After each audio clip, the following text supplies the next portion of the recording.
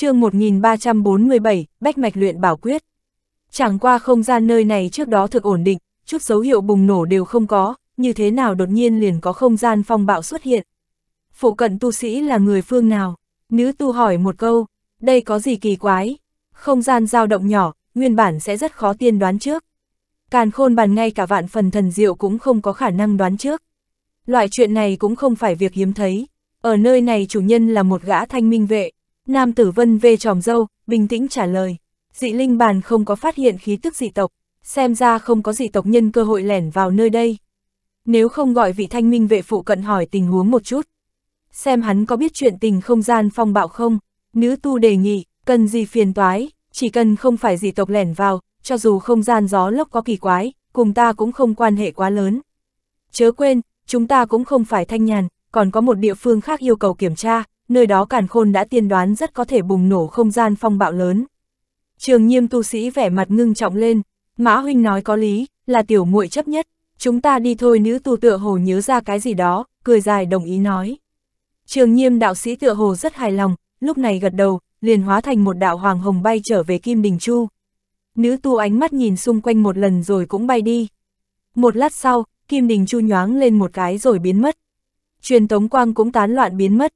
Hàn Lập trong động phủ không biết trong khoảng thời gian ngắn đã có hai gã luyện hư cấp vào đây tra xét một phen, thậm chí, ngay cả gọi hắn để hỏi cũng không, đã vội vàng rời đi.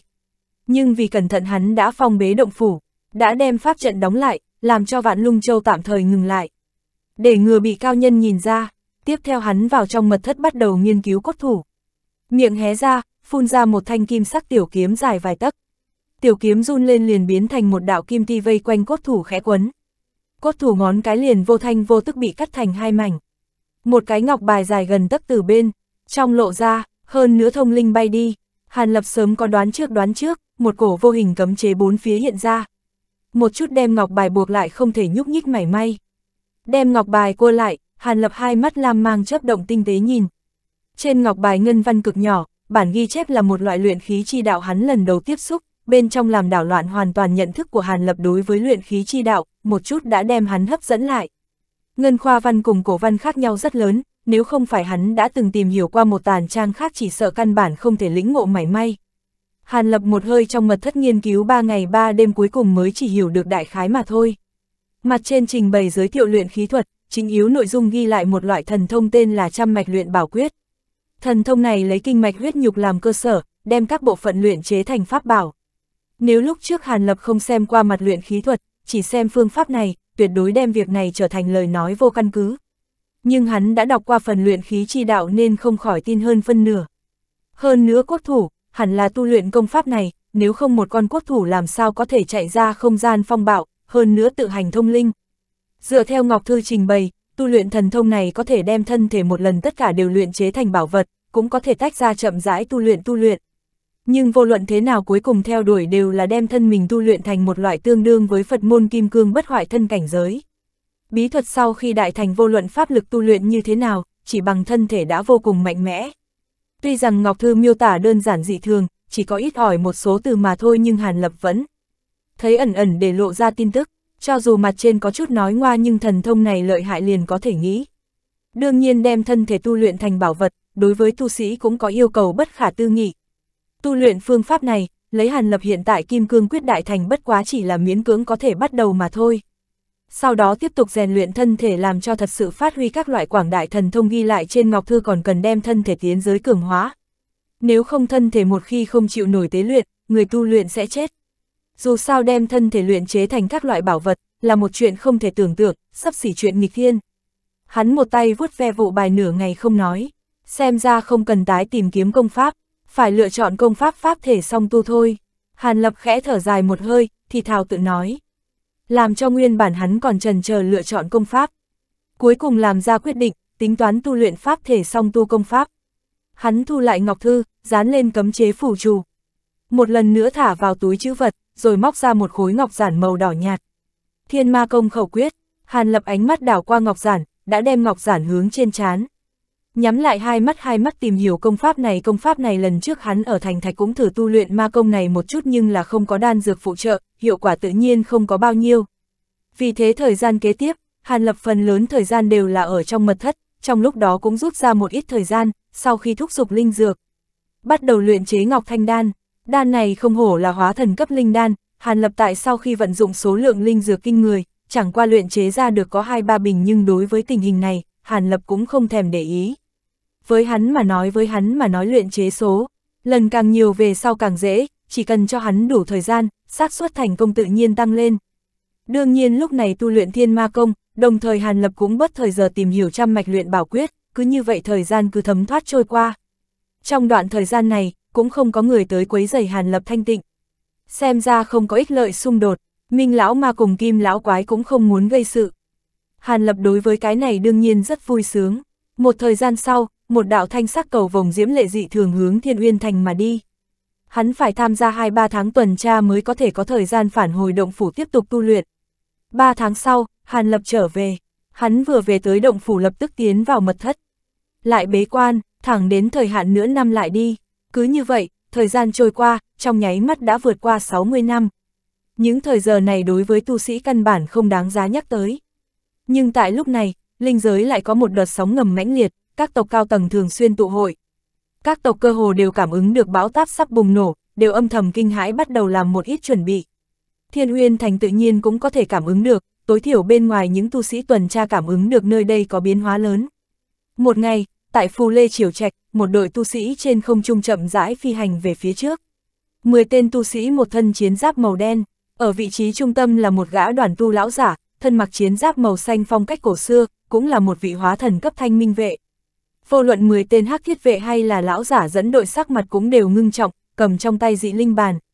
Đồng thời ánh mắt không ngừng quét nhìn liên tục mọi nơi. Đội tu sĩ cũng không thấy có người nói chuyện, liền thật cẩn thận bay thẳng, mấy giờ sau bỗng nhiên pháp bàn trong tay một gã hắc thiết truyền ra trận trận vù vù. Tuy rằng thanh âm không lớn nhưng vẫn làm cho tất cả mọi người sắc mặt đại biến. Tại sao lại phát hiện dị tộc? Sao chúng ta toàn gặp vậy? Tiểu đội lần trước đã bỏ mình hai thành viên một đại hán thấy rõ ràng dị linh bàn trong tay đồng bạn chấp động cảnh báo, cũng nhịn không được nữa chửi ầm lên. Hư, nghe nói tiểu đội thứ bốn nửa năm trước gặp hư động tộc nhân, kết quả kể cả đội trưởng đều bỏ mình phân nửa. Một trung niên nữ tu lạnh lùng tiếp lời nói, sắc mặt cũng đồng dạng âm trầm dị thường. chương 1348, lục ảnh, nếu dị linh bàn đã muốn báo nguy, không đi xem xét, chúng ta sau khi trở về sẽ bị trọng phạt. Đại bộ phận dị tộc đều không có chiến lực rất mạnh, mọi người chỉ cần cẩn thận chút, hẳn là có thể thuận lợi giải quyết bọn do thám này thanh giáp lão giả nhíu mày phân phó. Nghe được lão giả mở miệng, hắc giảo vệ cho dù trong lòng không nguyện cũng chỉ có thể ngậm miệng không nói. Tiếp theo lão giả liên tiếp ra mệnh lệnh, đoàn người lập tức hóa thành mấy đội, hướng tới phương hướng dị linh bản báo nguy mà đi. Sau khi phi hành hơn 10 dặm thì hiện ra một mảnh loạn thạch trên không.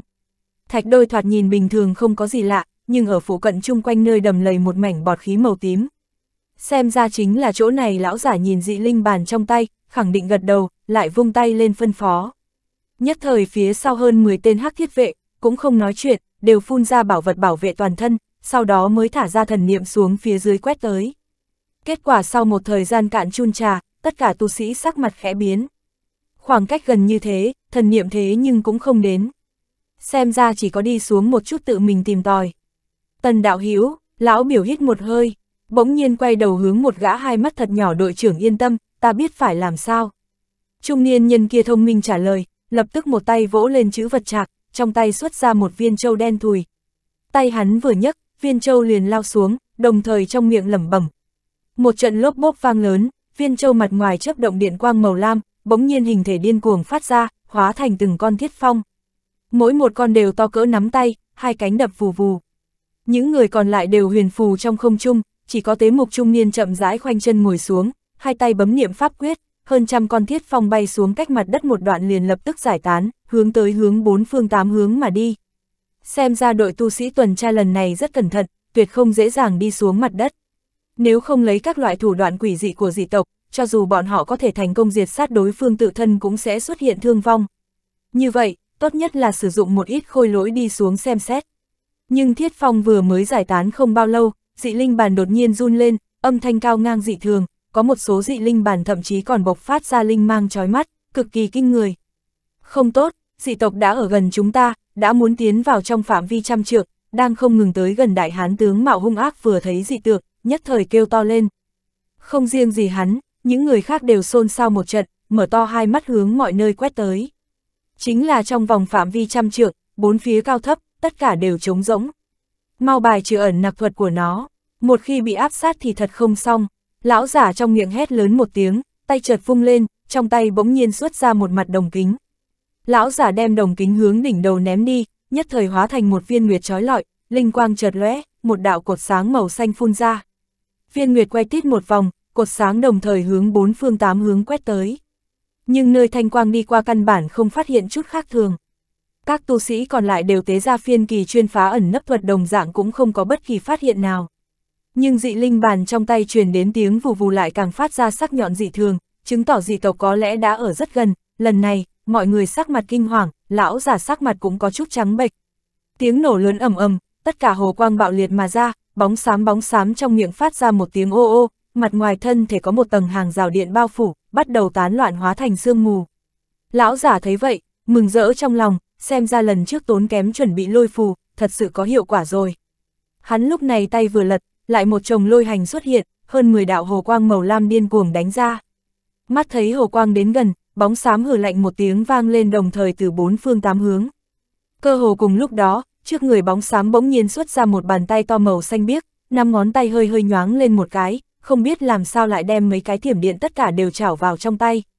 Một trận bạo liệt nặng nề vang lên, tia chớp vô ảnh vô tung biến mất. Lục ảnh, đồng tử lão già co rụt lại, dường như rên rỉ kêu ra. Các ngươi đều phải chết, một giọng nói băng hàn vang lên, lập tức khắp nơi vặn vẹo biến hình, hóa thành một lục huỳnh quang ảnh đi ra. Quang ảnh vừa thấy hình người nhưng đầu lớn kỳ lạ cơ hồ là gấp 2-3 lần người thường, lục quang chấp động trên gương mặt, một cặp mắt đỏ tươi ướt át, thoạt nhìn thật sự vạn phần quỷ dị. Cao dài ảnh tộc, thanh giáp lão giả khóe miệng co giật hạ xuống, hạ xuống, sắc mặt thật sự có chút trầm xuống. Mặc dù nói lôi điện lực có thể khắc chế đại bộ phận ảnh tộc, nhưng lục ảnh này cùng nhân tộc hóa thần tu sĩ không sai biệt lắm, thân mình đối với lôi điện đã có thể chống cự lại. Hóa thần tu sĩ cùng lục ảnh cấp bậc này giao thủ kết quả cơ hồ đều là nhân tộc tu sĩ đại bại. Hơn nữa lục ảnh này lấy sức một mình, có thể sử dụng khôi lỗi nhiều như vậy, chỉ sợ là lục ảnh bậc chung rồi. Điều này làm lão giả cảm thấy lòng trầm xuống.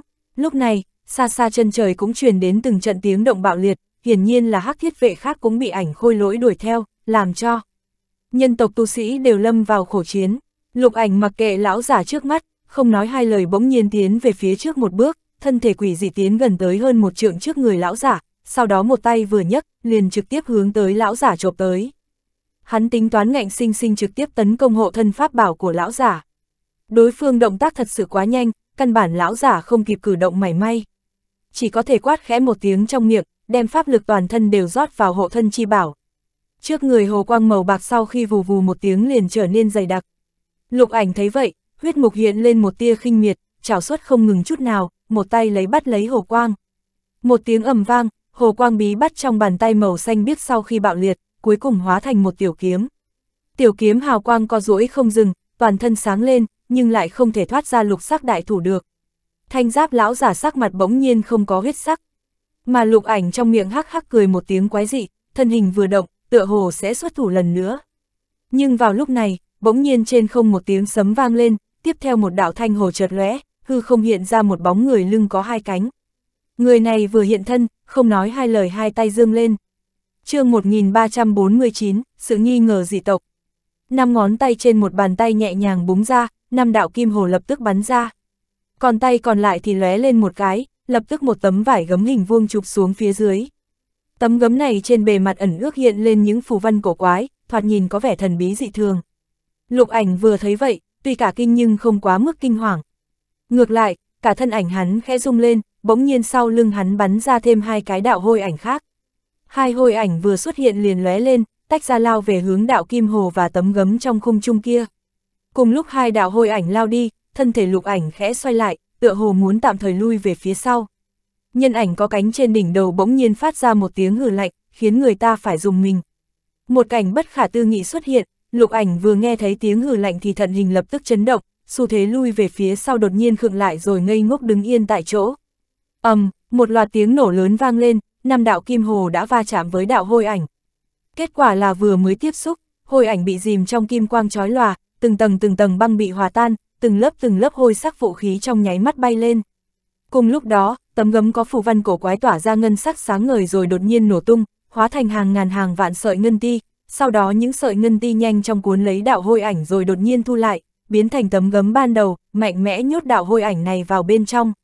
Mặt ngoài tấm gấm vang lên những tiếng sấm động mãnh liệt, vô số những tia hồ quang chạy ngang dọc, đạo hôi ảnh căn bản không thể thoát ra được. Lúc này, hai chiếc cánh sau lưng nhân ảnh mang cánh rung lên, sau đó toàn bộ thân ảnh hóa thành một vệt sáng bạc, biến mất không thấy. Cùng lúc đó, một vệt sáng bạc lại hiện ra trên đầu lục ảnh. Thân ảnh cũng không vận dụng pháp bảo nào, chỉ vươn bàn tay hướng xuống vỗ xuống, tiếp đó linh quang quanh năm ngón tay lóe lên, đồng thời hiện ra năm cái cốt giới màu sắc khác nhau. Những cái cốt giới này trắng noãn như ngọc, trên mặt đều được khắc một cái đầu lâu tinh xảo lớn bằng hạt đậu. Còn mặt của tiểu khô lâu đột nhiên chớp sáng giống như chợt sống lại, năm cái miệng lập tức mở lớn.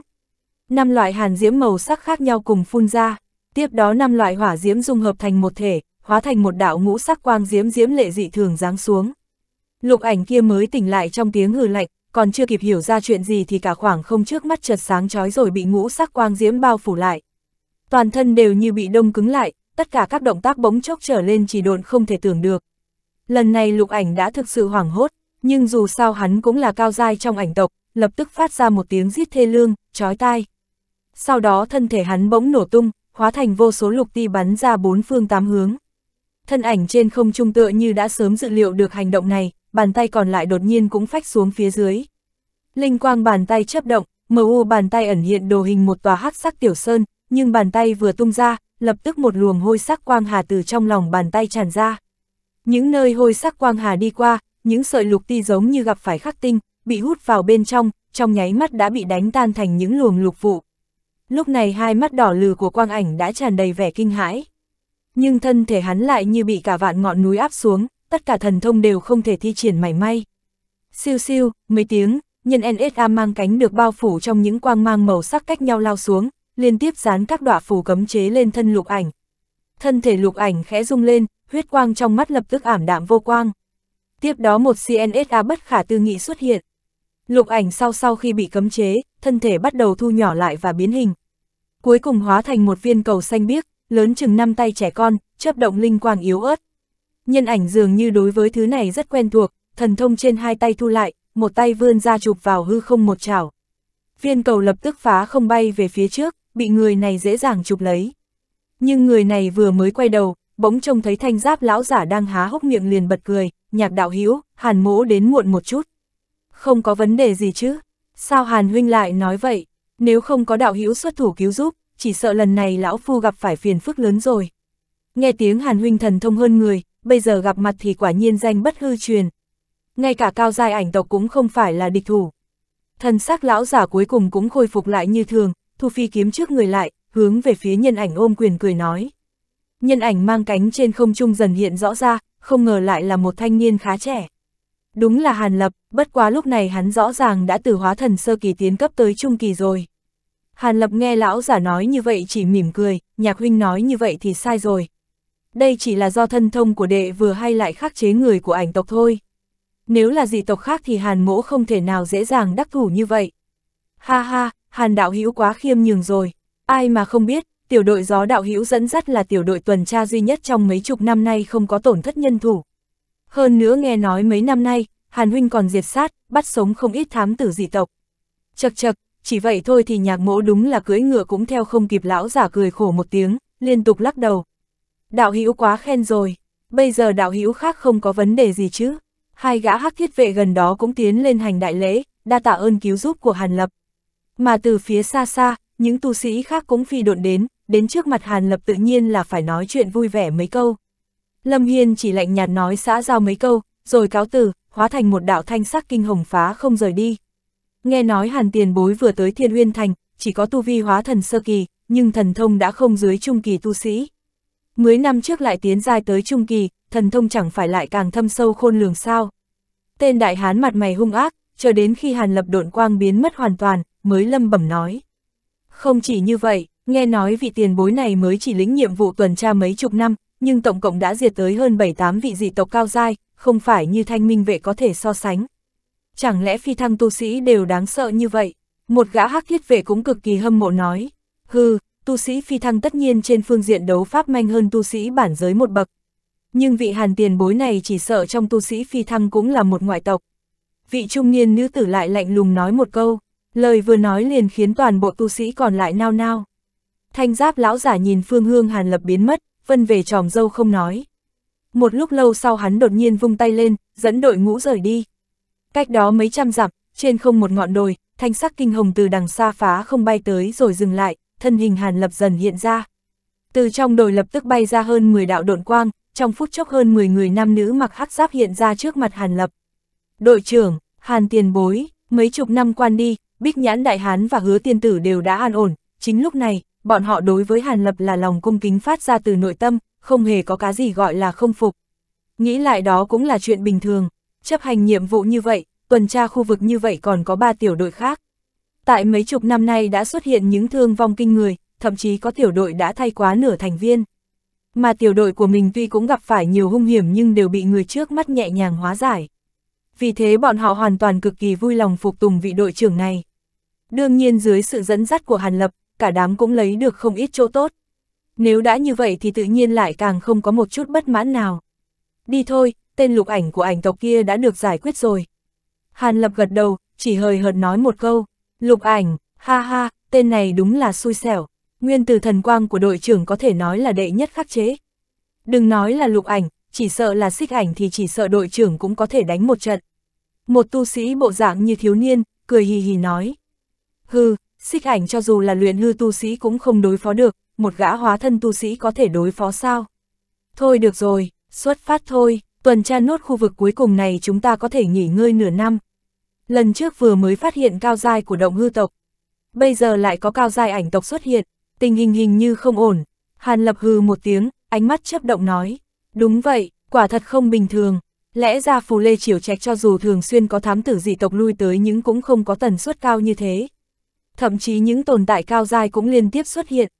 Ta nghe nói yêu tộc phụ trách táng cốt sa mạc cũng thấy xuất hiện lương lớn thám tử dị tộc. Đội tuần tra bên yêu tộc cũng có rất nhiều người đã chết. Chẳng lẽ dị tộc có chủ ý đánh nhau với nhân yêu hai tộc chúng ta, tính đánh thiên uyên thành phải không? Mã đạo sĩ sắc mặt vừa động, thần sắc âm trầm nói. Vừa nghe như vậy, chúng tu sĩ đều sắc mặt đại biến, vẻ tươi cười lập tức thu liếm. Không thể nào, lần dị tộc công thành trước mới có 3 vạn năm thôi. Bình thường chẳng phải là cứ 6-7 vạn năm mới nổ ra một lần hay sao? Hứa tiên tử vẫn xinh đẹp như trước, hai hàng mi khẽ nhíu lại hỏi. chương 1350, Thiên Quảng Điện, tuy thông thương sau cuộc đại chiến, các tộc đều cần phải dùng đến 10 vạn năm mới có thể có năng lực tái chiến, nhưng nếu xuất hiện biến cố trọng đại nào đó, các tộc có thể sẽ tình nguyện tổn thương nguyên khí của tộc để khơi mào đại chiến sớm hơn một chút. 50 vạn năm trước, trong trận bách tộc đại chiến, không phải là ngắn ngủi 10 vạn năm, chúng ta bị đám dị tộc liên thủ thay phiên nhau tấn công. Cơ hồ khiến cho nhân yêu hai tộc chúng ta nguyên khi tổn thương gần như không còn. Thiếu chút nữa là bị diệt tộc, mãi cho 10 vạn năm sau mới khôi phục lại trạng thái đỉnh cao lúc trước. Đương nhiên đám dị tộc cũng chẳng được tốt lành gì, có hai tộc trực tiếp bị gạch tên trong cuộc chiến. Mã đạo sĩ sắc mặt ngưng trọng hẳn lên, bách tộc đại chiến, đạo hữu lo lắng quá rồi. Loại đại chiến quét ngang hơn phân nữa linh giới này làm có thể nói bùng nổ là bùng nổ được. Hơn nữa lại trùng hợp rơi xuống đầu chúng ta. Bích nhãn đại hán hít một hơi lạnh, hai mắt trợn trừng. Mã đạo hữu thực sự là hơi quá lời rồi. Nếu thật sự gặp phải đại chiến quy mô như bách tộc đại chiến lúc trước, cho dù ta có thêm 10 cái mạng nữa cũng khó mà sống sót được. Nghe nói, năm đó trong trận đại chiến, phàm nhân còn đỡ, chứ tu sĩ như chúng ta chết đến 9 phần. Hứa tiên tử cũng hít một hơi lạnh, đúng đúng, chuyện đó sao có thể xảy ra. Những người khác vừa nghe đến cái tên bách tộc chi chiến thì sắc mặt đều tái xanh, tựa như mã đạo sĩ vừa nhắc tới một chuyện vô cùng đáng sợ vậy. Thôi, chỉ là gần đây có thêm một số thám tử thôi mà. Làm sao có thể nổ ra cái gì mà bách tộc đại chiến được. Đứng nói là việc này gần như không thể phát sinh, mà cho dù là phát sinh, chúng ta cũng chẳng làm được gì. Bây giờ nhiệm vụ hàng đầu vẫn là hoàn thành nhiệm vụ tuần tra này. Chuyện khác đã có trưởng lão hội lo rồi. Hàn Lập Thủy Trung vẫn bình tĩnh như thường, nhàn nhạt phân phó một câu. Tiếp đó thân hình loáng một cái đã bay về phía xa.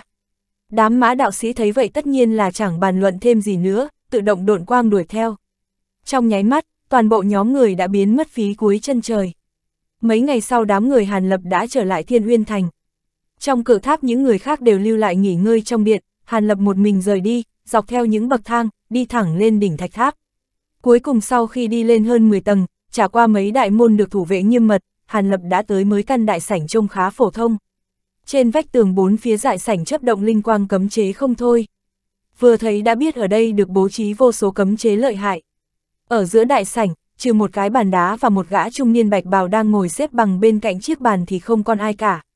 Hàn Lập vừa đi vào đại sảnh, trung niên vốn đang nhắm mắt dưỡng thần chậm rãi mở mắt ra, nhìn thấy Hàn Lập bước vào mà không hề tỏ vẻ ngạc nhiên, ngược lại còn nhẹ nhàng nói một câu. Thì ra là Hàn Hiền Chất, chắc lần tuần tra này lại có thu hoạch, lần này mang tới người sống hay là thi thể, là của bộ tộc nào? Trung niên nhân tựa hộ rất quen thuộc với Hàn Lập, khởi bẩm tiền bối, vãn bối lần này bắt được một gã thám tử của ảnh tộc. Hàn Lập đứng đối diện với trung niên, cung cung kính kính, không dám có chút thất lễ nào. Sau khi cung kính ôm quyền, liền lật bàn tay lên, lấy hộp ngọc ra, hai tay cung kính để lên chiếc bàn đá. Ảnh tộc, chật chật, thám tử của dị tộc này rất ít khi bị bắt sống. Ta nhìn kỹ một chút rồi nói. Bạch bao tùng niên nhân vừa nghe Hàn Lập nói như vậy, thân sắc vừa động, rốt cuộc cũng lộ ra vẻ hứng thú. Một tay hắn vừa bấm quyết, nhắm về phía chiếc bàn đá trước người đột nhiên vỗ ra một trường. Chiếc bàn đá vốn nhìn rất bình thường đột nhiên đại phóng bạch quang, hiện ra một cái trận pháp trận nhỏ, to chừng một trường. Mà cái hộp ngọc kia vừa vặn bị bao phủ trong trận pháp đó. Bạch bào trung niên nhân tựa như không chịu ảnh hưởng của cấm chế, tay áo nhẹ nhàng phất một cái về phía chiếc hộp. Nắp hộp tự động mở ra, để lộ ra một viên cầu chấp động linh quang xanh biếc yếu ớt. Lục Anh, đây là cao giai ảnh tộc khó mà gặp được, lại còn bị bắt sống. Hiền chất, ngươi lần này đã lập công không nhỏ. Bạch bào trung niên vừa liếc mắt qua đã nhìn ra lai lịch viên cầu, cuối cùng cũng có chút động dung. Tiền bối quá khen, nghe nói nửa tháng nữa, tại Thiên Quảng Điện, hình trưởng lão sẽ truyền thụ phù lê chi đạo, không biết có chính xác hay không. Hàn Lập chỉ khiêm tốn nói vài câu rồi đột nhiên hỏi. Đúng vậy, Thiên Quảng Điện giản đạo lần này, quả thật là do hình trưởng lão truyền thụ. Tuy không biết có thật sự là phù lê chi đạo hay không, nhưng bản thân hình trưởng lão lấy phù lê thuật để vang danh tam cảnh. Vì thế lần này quá nửa là có liên quan đến thuật này. Như thế nào, Hàn Hiển chất hứng thú với cái này sao? Bạch bào trung niên hơi ngạc nhiên nói, vãn bối gần đây có nghiên cứu phù lê thuật, cũng đã có chút tâm đắc, đang muốn tìm người chỉ điểm một chút. Hàn Lập cũng không hề giấu giếm, thản nhiên nói, phù lê chỉ đạo nếu có thể nghiên cứu thấu triệt thì khi đối địch, địch xác diệu dụng vô cùng. Nhưng pháp thuật này chỉ là phụ trợ thuật, không có tác dụng tăng tiến tu vi nhiều.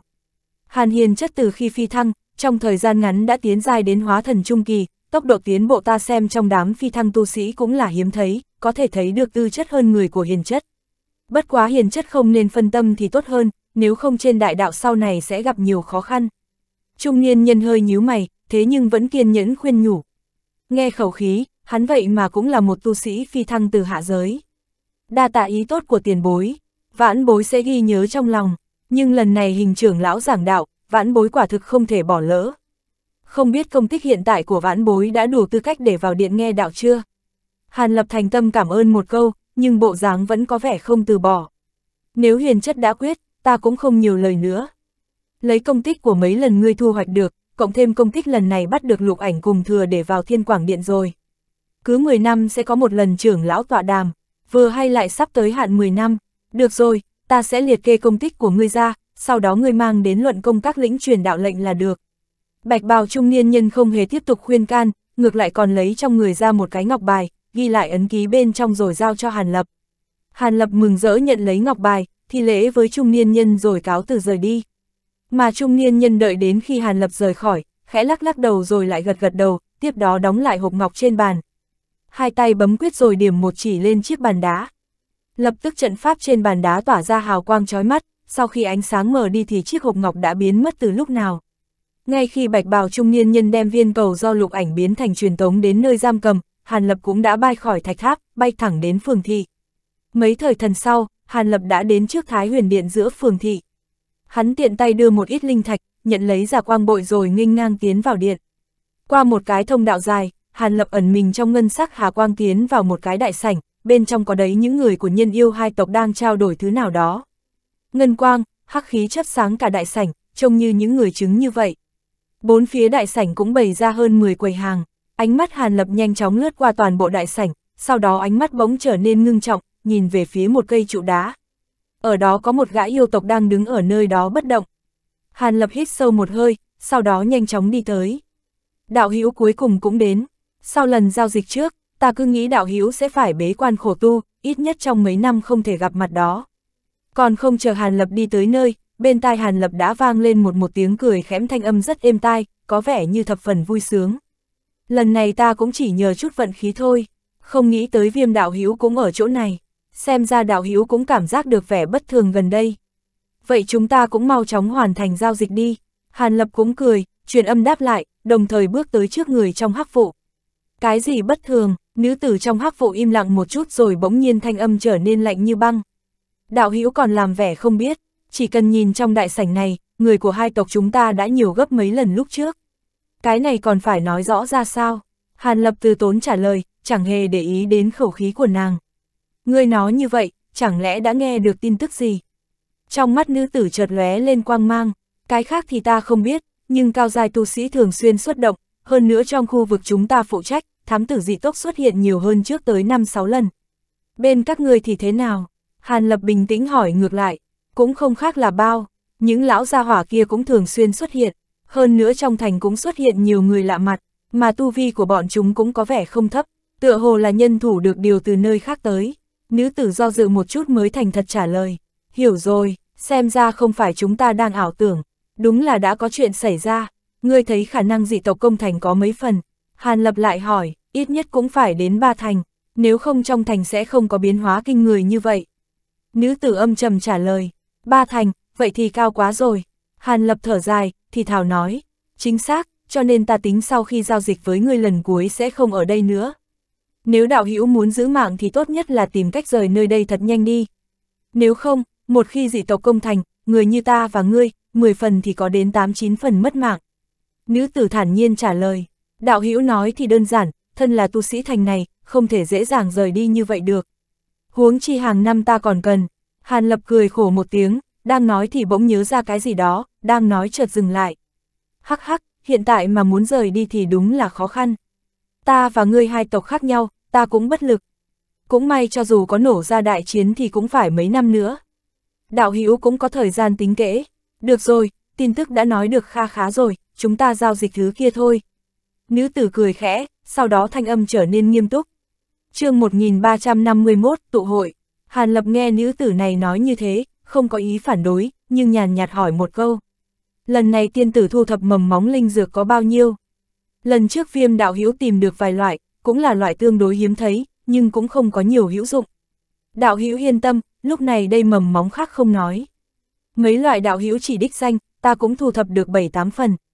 Nói thật, nếu không bởi thời gian xảy ra đại chiến sắp đến gần, ta căn bản sẽ không mang những mầm móng này đi đổi. Nhưng thật ra lần này, vạn năm linh dược đạo hữu mang đến, chẳng biết số lượng đủ không. Nữ tử thản nhiên cười, đạo hữu cùng tại hạ giao dịch mấy lần, trong đó một lần gặp tại hạ đã trao cho đạo hữu một gốc cây linh dược. Hàn lập quỷ dị cười, hỏi lại một câu, thì như thế, chẳng qua lúc này thực sự mầm móng đều là vật quý hiếm dị thường, nếu nói về lâu dài thì giá trị thật không hề kém vạn năm linh dược của đạo hữu chỉ là vạn năm linh dược quá hiếm thấy, nếu không thiếp thân thật đúng là không nỡ lấy ra giao dịch cùng đạo hữu Nữ tử cười duyên vài tiếng, lập tức bàn tay vừa lật chuyển. Một hộp gỗ xanh biếc xuất hiện tại trong tay, đồng thời vứt lại đây. Cái hộp gỗ chạm khắc các loại hoa văn cổ xưa, ẩn hiện dấu hiệu ánh sáng chấp động, hiển nhiên không phải vật bình thường. Hàn lập sắc mặt ngưng lại, một tay hấp lấy hộp gỗ, nhưng không mở nắp hộp, hai mắt lam mang chợt lóe, ánh mắt trực tiếp xuyên thấu nắp hộp mà vào, đồng thời thần niệm cường đại cũng xâm nhập trong đó, cẩn thận nhìn quét. Trong lúc nhất thời, Hàn Lập một tay chụp lên hộp gỗ, đứng tại chỗ vẫn không nhúc nhích. Nữ tử trong đoàn khắc khí phía đối diện thấy Hàn Lập hành động như vậy cũng không tỏ ra kỳ quái chút nào, cũng không có ý thúc giục, chỉ là dụng ánh mắt chấp động, ngưng nhìn Hàn Lập không nói. Tựa hồ nữ tử đang nghĩ muốn xuyên thấu qua tầng ngân sắc quang hà, cũng lúc đó nhìn thật rõ hình dạng Hàn Lập. Một hồi lâu sau, nàng này thầm thở dài một hơi, thu ánh mắt trở lại. Người có thể cung cấp vạn năm linh dược nhanh như thế, thân phận dám chắc không phải người tầm thường. Theo nàng đoán, đối phương hơn phân nửa là người trong chân linh thế gia bí ẩn tại nhân tộc. Đặc biệt có thể bồi dục linh dược này thì lại càng có khả năng là người mẫn gia. Nhưng đối phương thật sự cẩn thận đến dị thường, đã vài lần tiếp xúc thì nói bóng nói gió, không những không hỏi ra lai lịch đối phương, ngược lại còn không nghĩ rằng bị đối phương biết được họ của mình. Sự việc sau này làm cho nữ tử có một khoảng thời gian ảo não không thôi. Mặc dù đối phương không có khả năng chỉ dựa vào một tiếng xưng hô, tìm ra lai lịch bản thân, nhưng cũng để cho nữ tử không thể còn tâm tư dò xét, cũng không hề đề cập đến thân phận song phương. Nếu không, có khi lại càng tiết lộ nhiều thông tin bản thân. Chẳng qua, bản thân nữ tử nghĩ bây giờ cùng đối phương giao dịch, để đổi lấy vạn năm linh dược cho nên không khỏi hưng phấn dị thường. Tuy rằng nàng xuất thân có chút đặc thù, cũng coi như hạng người có chút địa vị trong tộc, cộng thêm có nhiều linh dược nhưng... Cho dù có nhiều linh thạch trong người, nhưng bình thường nữ tử này cũng có vài loại linh dược không thể mua được. Chỉ cần lần này giao dịch thành công, linh dược này cũng đủ để nàng mời người luyện chế các loại đan dược có nhu cầu cấp bách dùng để đột phá chướng ngại trước mắt. Đương nhiên nàng đối diện Hàn Lập thu thập mầm móng linh dược, cũng cảm thấy tò mò, chỉ cần đối phương có thể giao cho nàng linh dược, nàng tự nhiên chẳng muốn truy cứu gốc tích. Ngay tại lúc nữ tử yêu tộc này tâm tư không yên, Hàn Lập phía đối diện đã muốn kiểm tra vật trong hộp xong, cũng hài lòng gật đầu. Không tồi, thực chất hơn phân nửa đều là mầm móng ta trước kia hướng ngươi đề cập đến. Đây là linh dược của ngươi, ngươi kiểm tra một chút đi. Nói xong, hắn cũng từ trên người lấy ra mấy ngọc hạp, nhất nhất giao cho đối phương. Nữ tử không dám bất cẩn, tiếp nhận xong cũng cẩn thận kiểm tra lại một lần. Không sai, đích xác đều là linh dược vạn năm, lần này cũng là lần giao dịch cuối cùng của chúng ta, đạo hữu nếu thật có thể tránh được đại kiếp nạn, về sau nói không chừng còn có cơ hội hợp tác. Yêu tộc nữ tử đem linh dược thu lại, cười dài nói. Hy vọng như thế đi, đồ vật này giao dịch xong, tại hạ đang muốn xem các đạo hữu còn lại có cái thứ gì tốt hay không. Tình hình lúc này, hẳn là có một chút đồ vật chân quý. Hàn lập lại đảo qua bốn phía quầy hàng này, có chút đăm chiêu nói. Đạo hữu thật biết tính toán, ta vừa rồi nhìn qua, đích xác là có không hề ít vật quý hiếm xuất hiện. Nhưng thiếp thân còn có chuyện trong người, không tiếp tục bồi đạo hữu. Nữ tử lập tức nói cáo từ, tiên tử xin cứ tự nhiên, Hàn Lập liền ôm quyền bất động thanh sắc, nữ tử trong hắc khí thật cũng thật dứt khoát, quả thực lập tức xoay người, hướng lối đi vào yêu tộc phía đối diện. Hàn Lập chờ nàng này rời khỏi đại sảnh, khóe miệng khẽ cười. Ban đầu Ngọc Thanh Đan chỉ hữu hiệu đối với hóa thần sơ kỳ, hiện giờ thông qua việc cùng nàng này giao dịch vài lần, hắn rốt cục lại thu thập thêm hai loại đan dược rất có tác dụng đối với hóa thần trung kỳ. Xem ra trong khoảng thời gian ngắn, không cần quá quan tâm đến việc thiếu thốn đan dược. Hàn Lập trong lòng nghĩ đến việc lớn về sau, lòng buông thóng, hướng về quầy hàng của một nhân tộc, thản nhiên đi tới. Dạo qua một vòng sau, Hàn Lập khẽ cau mày, tuy rằng quầy hàng không ít, hai tộc tu sĩ xuất ra bảo vật quý hiếm cũng phong phú hơn xa lúc trước. Nhưng lấy ánh mắt của hắn hiện nay, tự nhiên sẽ không để ý đến các pháp bảo hay tài liệu bình thường. Mà hắn cảm thấy hứng thú nhất là bí thuật công pháp, vi vi. Nhưng lại hiếm thấy có bán, xem vài lần, hắn sẽ không nhiều trì hoãn trong lúc này, chậm rãi rời khỏi đại sảnh. Vừa ra Thái huyền điện, Hàn Lập liền khu động độn quang, hướng thạch tháp chính mình đang ở lại. Nửa tháng sau, sẽ là ngày thiên quảng điện trưởng lão giảng đạo, hắn là tuyệt không bỏ qua cơ hội này. Hơn nữa cho dù không có việc này, hắn còn có một việc khác phải xử lý, cũng sẽ không lập tức rời đi thiên uyên thành. Hàn Lập trở lại trong thạch tháp, trước tiên đem khối ngọc bài ghi lại công tích của chính mình đem đến nơi nào đó trong điện phủ đổi lấy một khối lệnh bài, liền trở về nơi dừng chân tại tiểu đổi của mình, tùy tiện tìm một gian tĩnh thất ngồi xuống nghỉ ngơi. Ba ngày sau, một đạo thanh hồng vội vàng rời khỏi thạch tháp, thẳng đến nơi nào đó bên ngoài thành. Gần nửa ngày sau, một đạo thanh hồng xuất hiện trên không ở tòa sơn cốc ngoài thành. Sơn cốc này thoạt nhìn ngoại trừ cảnh sắc tú lệ chút bên ngoài, thật sự không có cái gì thu hút. Nhưng thanh hồng xoay vòng một lượt, liền bỗng nhiên hướng trong cốc rơi xuống. Hào quang chợt tắt, thân hình hàn lập tại một khối thạch bích cao hơn 30 trượng hơn hiển lộ ra. Trừng nhìn thoáng qua, phát hiện không có bất cứ dị thường, tay áo run lên, bắn ra một đạo kim phù. Nó bắn thẳng vào vách đá, mất tâm không thấy bóng dáng. Sau đó hàn lập lẳng lặng đợi ở thạch bích, một lát sau, một màn khó tin xuất hiện, mặt ngoài thạch bích đột nhiên nổi lên một tầng linh quang minh mông. Ở trước người hàn lập hiện ra thông đạo cao hai trượng, bốn vách tường đều là màu xanh thạch bích. Linh quang chấp động yếu ớt, hàn lập mỉm cười, nhấc chân đi vào, thông đạo dài ước chừng có 4-50 trượng, phía cuối thông đạo là bạch sắc quang mạc che chắn bạch ngọc đại môn. Hàn Lập không chút do dự, hai tay bấm quyết, trong miệng lẩm bẩm, quầng sáng trước mặt lập tức run lên, từ giữa bung ra. Hắn lúc này mới thản nhiên đi vào trong đó. Phía sau cửa 30 trượng là đại thính đường, trừ ra hai mươi mấy ghế đá bên ngoài, cùng một cái đại thạch bàn ở giữa, còn đâu trống không. Mà ở này đó, trên ghế đá ngồi 8, 9 tên tu sĩ trong đó có nam có nữ, phục sức khác nhau nhưng mỗi một người tu vi đã ngoài hóa thần. Nhóm tu sĩ này vừa thấy Hàn Lập đi đến, lúc này còn có mấy người mặt tươi cười hô. Hàn Huynh cũng đã đến, đạo hữu lần này tới khá sớm, nghe nói Hàn Huynh lần này bắt sống một gã lục ảnh, chật chật, điều này khiến phe tu sĩ phi thăng chúng ta nở mày nở mặt. Hàn Lập vẻ mặt tươi cười, nhất nhất đáp lễ một phen. Mới tìm một chiếc ghế ở đại sảnh ngồi xuống, còn lại không có tu sĩ lên tiếng chào hỏi, sắc mặt không chút thay đổi, chỉ liếc mắt nhìn Hàn Lập một cái. Hàn Lập không thèm để ý đến những người này, ngược lại nhắm mắt dưỡng thần. Ngay tại Hàn Lập ngồi xuống không lâu, lại lục tục có tu sĩ bước vào đại sảnh, đồng dạng có người quen biết những người này tiến lên tiếp đón. Liền như vậy hai canh giờ sau, trong đại sảnh có thêm đến 15, 16 gã tu sĩ, một lúc sau cũng không có thêm tu sĩ nào tiến vào. Nhưng không có người nghị luận cái gì, ngược lại một đám đang ngồi im, bất động như Thái Sơn.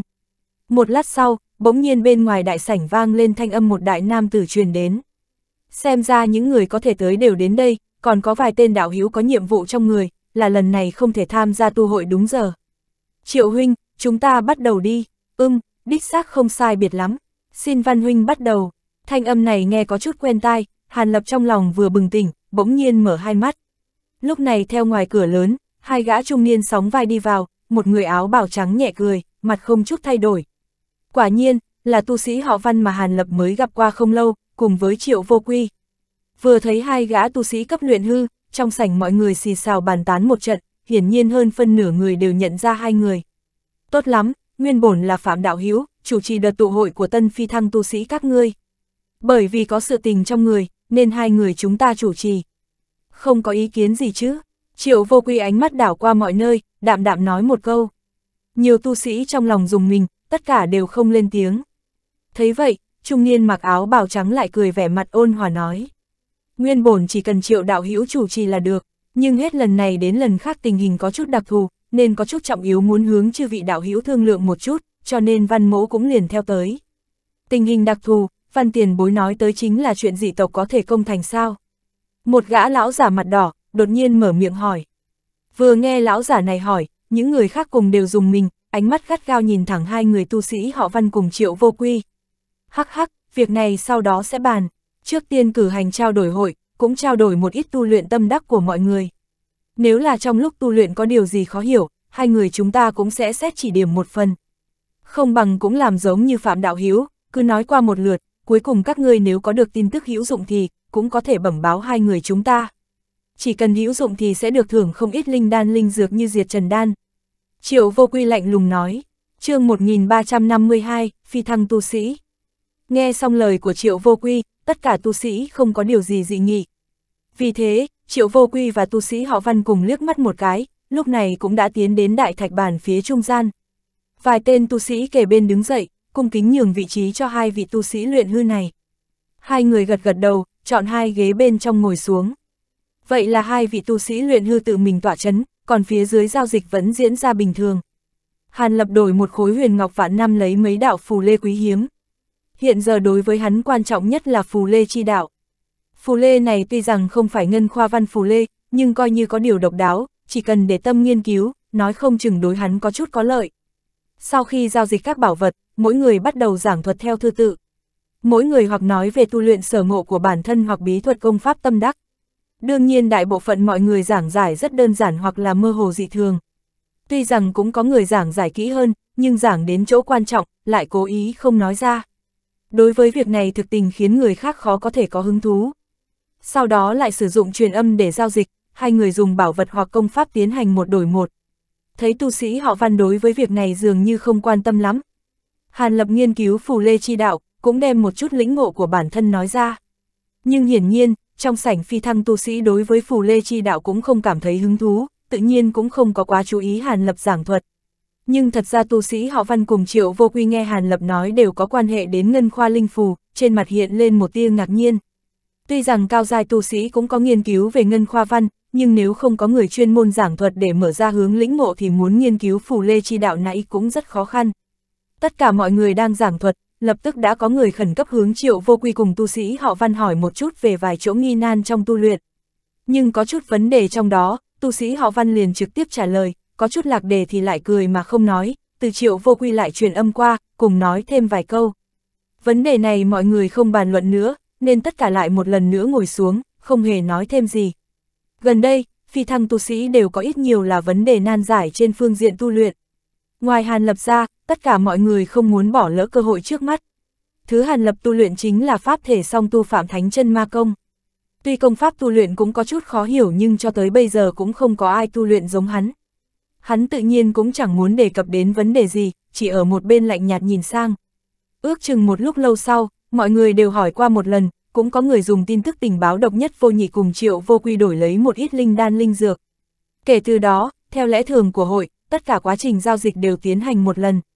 Lúc này bỗng nghe thấy tu sĩ họ văn ho nhẹ một tiếng, chậm rãi đứng dậy nói, tốt lắm, nếu các việc vặt đều xử lý xong rồi. Hai người chúng ta truyền lại lời giao phó của lôi la trưởng lão một chút. Các ngươi cẩn thận nghe kỹ, vừa nghe những lời của tu sĩ họ văn, Hàn Lập trong lòng dùng mình, thần sắc trở lên nghiêm nghị. Nhân tộc Thiên Uyên Thành có có 5 vị trưởng lão, Lôi La chân Nhân cùng Kim Việt Thiền Sư chính là hai vị trong số 5 vị đó.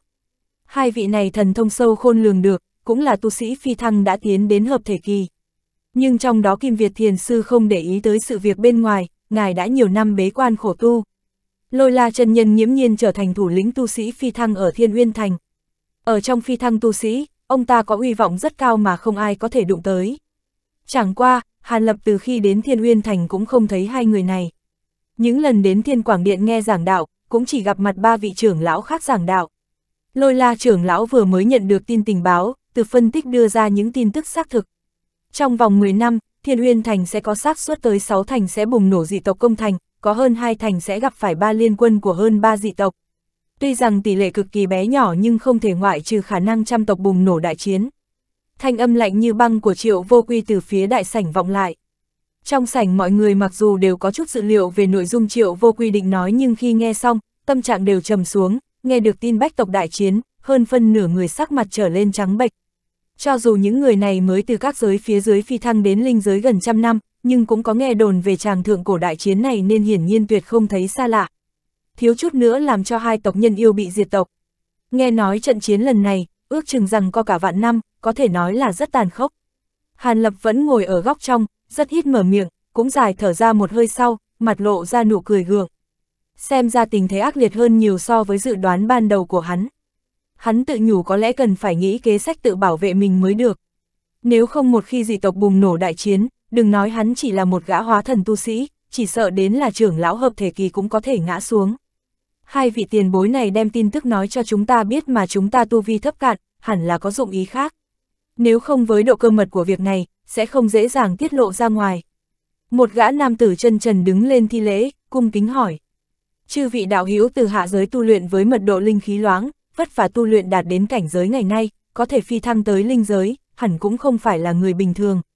Ta đây cứ việc nói thẳng, những năm gần đây, nhóm phi thăng tu sĩ đến Thiên Uyên Thành đều đảm nhiệm chức thanh minh vệ, nhìn như được trọng dụng, nhưng trên thực tế lại rất nguy hiểm. Việc nào nguy hiểm nhất thì trưởng lão hội đều để tu sĩ phi thăng xử lý, tuy rằng cách mấy năm sẽ có một phi thăng đồng đạo gia nhập, nhưng là bao năm qua ngày nào cũng có cao giai tu sĩ của Thiên Uyên Thành ngã xuống, mà chiếm đa số là phi thăng tu sĩ. Trên thực tế, số lượng phi thăng tu sĩ, tu sĩ cao giai chiếm chưa đến một trong 10 thành. Bản địa tu sĩ tại linh giới, lại phần lớn chỉ cần làm một ít nhiệm vụ an toàn. Những năm gần đây mọi người ở Thiên Uyên Thành, chắc là cũng có trải nghiệm có phải các đạo hữu muốn chấp hành nhiệm vụ phiêu lưu này? Chư vị đạo hữu cũng biết, với loại đãi ngộ này, kết quả vẫn là cần phi thăng tu sĩ đoàn kết cùng với lôi la trưởng lão cố gắng.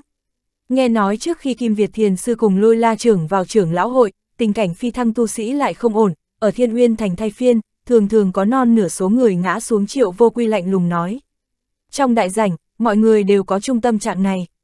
Theo như lời của tu sĩ họ văn, bọn họ đích xác đều hoặc ít nhiều cũng cảm nhận được một chút thậm còn có mấy người còn tự mình thấy, phi thăng tu sĩ khác ngã xuống tại các nhiệm vụ nguy hiểm.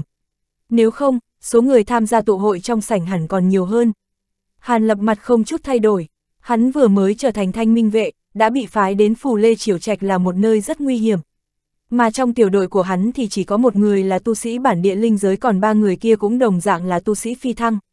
Hắn tự nhiên đã sớm có hoài nghi, cho nên lúc trước triệu vô quy mới chủ động tìm tới hắn, mời hắn tham gia tụ hội. Khi tiếp xúc với những người khác, hắn đột nhiên nhìn thấu những tu sĩ này còn có chút kiêng kỵ với tu sĩ phi thăng. Hiện giờ có chỗ dựa vững chắc thì hắn tất nhiên là không cự tuyệt. Quả nhiên khi gia nhập tụ hội, không còn có chuyện rắc rối nào tìm tới cửa, cũng không có nhiệm vụ nào hung hiểm tìm tới tiểu đội của hắn nữa. Đương nhiên cũng là bởi vì tuần tra phù lê triều trạch, nguyên bản chính là một nhiệm vụ nguy hiểm. Lần này trước tiên đem này tin tức nói cho các ngươi, kỳ thật là lôi la trưởng lão nghĩ, có thể từ trước khi xuất hiện đại kiếp nạn liền cung cấp cơ hội để bảo toàn nguyên khí cho phe phi thăng tu sĩ. Nghe thấy vậy tu sĩ họ văn cũng thong dong mở miệng. Theo ý của tiền bối, chẳng lẽ là lôi la trưởng lão có biện pháp để cho chúng ta rời đi thiên uyên thành, tránh đi đại chiến này. Một nữ tử vận cung trang thanh sắc, phía trước có mạng tre, trong lòng vui vẻ hỏi. Hừ, dị tộc công thành, quan hệ đến đại sự sinh tử tồn vong của nhân tộc. Chúng ta cùng các khác tu sĩ lại có mâu thuẫn, nếu cộng đồng kháng địch đánh dị tộc thì không sao nhưng dám một mình rời đi thiên uyên thành thành, trốn tránh kháng định thì không cần bọn họ tìm tới các ngươi, mà ta sẽ tự mình ra tay. Hàn quang trong hai mắt triệu vô quy chợt lóe, âm trầm nói. Trong sảnh mọi người nghe được lời này, sắc mặt đại biến đồng thời có chút kinh nghi bất định. Các tiền bối kia rốt cuộc có dụng ý ra sao? Cung trang nữ tử trần chờ một chút rồi truy vấn một câu. Ha ha, chư vị đạo hữu không nên hiểu lầm, ý của lôi la trưởng lão là, kháng địch chi trách tự nhiên là không có thể từ chối. Nhưng là tất cả không hy vọng sau kiếp nạn này mà tu sĩ phi thăng bị chết hết. Cho nên mới cùng ta thương lượng qua, cuối cùng nghĩ ra một biện pháp có thể bảo toàn bộ phận nguyên khí. Nhưng biện pháp này tính nguy hiểm vẫn rất cao, lúc này mới phái ta tới đây, báo cho chư vị đạo hữu biết một phần. Cho chư vị đạo hữu tự do lựa chọn, tự mình quyết định có tham gia kế hoạch hay không. Nghe thấy vậy, tu sĩ họ văn cười nói, mọi người xôn xao một trận, đa số đều quay sang nhìn nhau. Đầu tiên, Hàn Lập nhíu chặt lông mày lại, hai mắt híp lên. Rốt cuộc có cái gì mà chúng ta phải lựa chọn, hai vị tiền bối nói thẳng đi. Một người chậm rãi hỏi, rất đơn giản, thời gian sắp tới, lôi la trưởng lão sẽ tuyên bố một ít nhiệm vụ. Nhiệm vụ này có tính nguy hiểm rất lớn, bản thổ tu sĩ hơn phân nửa sẽ không chịu nhận. Nhưng là nếu chư vị đạo hữu nhận và hoàn thành nhiệm vụ, cũng coi như lập công lớn, là có thể danh chính ngôn thuận rời thành. Nếu là đại chiến không bùng nổ, mọi người còn có thể phản hồi thiên uyên thành, còn nếu là thực bùng nổ đại chiến, người thấy tu vi không đủ có thể ẩn nấp cho đến hết đại chiến, cũng coi như bảo toàn nguyên khí cho nhóm tu sĩ phi thăng. Hắc hắc, theo như chúng ta tính toán, có thể có đến hơn một nửa số người chấp hành nhiệm vụ mà ngã xuống. Nhận hay không nhận, toàn bộ là quyết định của các ngươi. Dù sao chuyện gì tộc công thành, còn có thể xảy ra hay không vẫn chưa rõ, mà chấp hành này nhiệm vụ này, thì tỷ lệ bỏ mạng rất lớn. Nhưng nếu không mạo hiểm phiêu lưu mà đã nghĩ tới việc rời đi thiên uyên thành thì đó là việc mơ mộng hão huyền. Triệu vô quy cười lạnh nói, chương 1353, Linh trùng đại thành. Nghe xong hai người triệu vô quy nói, chúng tu sĩ trong sảnh hít sâu một hơi, thần sắc trên mặt cũng khác nhau. Một nửa khả năng rơi dụng, nhiệm vụ này cũng là quá hung hiểm. Mà ở lại Thiên Uyên Thành cũng bất quá chỉ có sáu thành là có thể nghênh đón dị tộc xâm lấn. Nếu chỉ là một dị tộc công thành, không ít người vẫn tin rằng sẽ vượt qua kiếp nạn này. Nếu mà như vậy, việc tiếp nhận nhiệm vụ lần này tựa hồ nguy hiểm lại càng lớn hơn. Đương nhiên sự việc này liên quan đến mạng sống, hiển nhiên không thể đơn giản tính toán như vậy, cho nên mọi người đều có các tính toán cân nhắc kỹ càng. Nhất thời, trong đại sảnh lại yên tĩnh không một tiếng động. Chư vị đạo hữu không cần lập tức đưa ra quyết định, những nhiệm vụ này sẽ được tuyên bố trong nhiều năm. Hơn nữa còn có quyết định, chỉ cần vừa tiếp nhận nhiệm vụ, thì lập tức sẽ chuyển giao chức vụ đang nắm giữ. Cho nên các đạo hữu cũng không cần lo lắng, tu sĩ họ văn cuối cùng lại bổ sung thêm vài câu. Nghe tiền bối nói vậy, cho dù ta có thể hoàn thành nhiệm vụ, nhưng mà việc diệt Trần Đan giải quyết như thế nào? Nếu không có diệt Trần Đan, cho dù bọn tại hạ hoàn thành nhiệm vụ, cũng sẽ rơi dụng dưới lưỡng sắc thiên kiếp. Hàn Lập bắt đầu mở miệng, nguyên lai là Hàn hiền chất, điều này không cần lo lắng, cho các người chấp hành nhiệm vụ nguy hiểm này, đó chính là hành động đánh cược. Hiển nhiên trước khi bọn ngươi xuất phát sẽ phát đủ số diệt trần đan. Nhưng cũng chỉ là tương đối mà thôi, linh đan này cũng sẽ bị thiết hạ cấm chế. Trừ phi các ngươi thực sự có thể hoàn thành được nhiệm vụ, nếu không diệt trần đan tự động hủy đi. Ngoài ra chư vị đừng có ý niệm vọng tưởng trong đầu là trên đường vứt bỏ nhiệm vụ mà bỏ trốn. Nếu không hậu quả như thế nào, chính các ngươi cũng rất rõ. Triệu vô quy nhàn nhạt tiếp lời, thì ra là thế, đa tạ tiền bối giải thích, Hàn Lập gật đầu, rồi thản nhiên ngồi xuống. Trong sảnh mọi người nghe được lời nói của triệu vô quy, trên mặt không chút dị sắc, nhưng trong lòng không hẹn mà cùng cười khổ. Trong lòng mấy người kia đang ấp ủ ý tưởng này, tự nhiên đã hoàn toàn tan biến. Những gì nên nói, hai ta đều đã nói cho chư vị. Nhiệm vụ lần thứ nhất sẽ bắt đầu ở nửa tháng sau. Nếu thật muốn nhận lấy những nhiệm vụ này, tốt nhất hãy sớm chuẩn bị. Mặc dù nhiệm vụ là do lôi la trưởng lão cố ý bố trí cho các ngươi, nhưng nếu là thực sự có những tu sĩ khác tiếp nhận, thì cũng không thể từ chối. Tốt lắm, tụ hội đến đây kết thúc, mọi người hãy trở về tự cân nhắc lợi hại. Cuối cùng tu sĩ họ văn cười nhẹ, dặn dò một câu, rồi tuyên bố kết thúc tụ hội. Lập tức hắn và Triệu Vô Quy đứng dậy, dẫn đầu bước đi trước ra đại sảnh. Trong sảnh, mọi người yên tĩnh trong chốc lát, sau cũng lục tục có người đi ra ngoài. Đại đa số đều cau mày, bộ dạng đầy tâm tư suy nghĩ. Hàn Lập thì vẫn chưa vội vã đi ra ngoài, mà là lẳng lặng ngồi trên ghế, như đang suy nghĩ cân nhắc một điều gì đó. Một lát sau, trong sảnh chỉ còn vài người. Thế nào, Hàn Huynh đối với mấy nhiệm vụ này có chút động tâm sao? Cách đó không xa một người đi tới, mỉm cười nói với Hàn Lập. Hàn Lập thần sắc vừa động, thấy có người tới, cũng mỉm cười trả lời. Nguyên lai là huyên tiên tử, tại hạ đúng là có chút ý định. Các tiền bối an bài lựa chọn kế này, thực chất cũng coi như một loại kế sách thoát thân. Chỉ là hơi chút nguy hiểm, không ngờ người này là chính là nữ tu vận thanh sắc cung trang, tu vi đã đến hóa thần trung kỳ. Trước kia, Hàn Lập từng gặp qua nàng ta mấy lần trong tụ hội, cũng nói qua mấy câu, cũng là xem như là người quen biết. Nghe nói trước đó không lâu trong lúc tuần tra, Hàn Huynh một mình một thân bắt giữ một gã lục ảnh.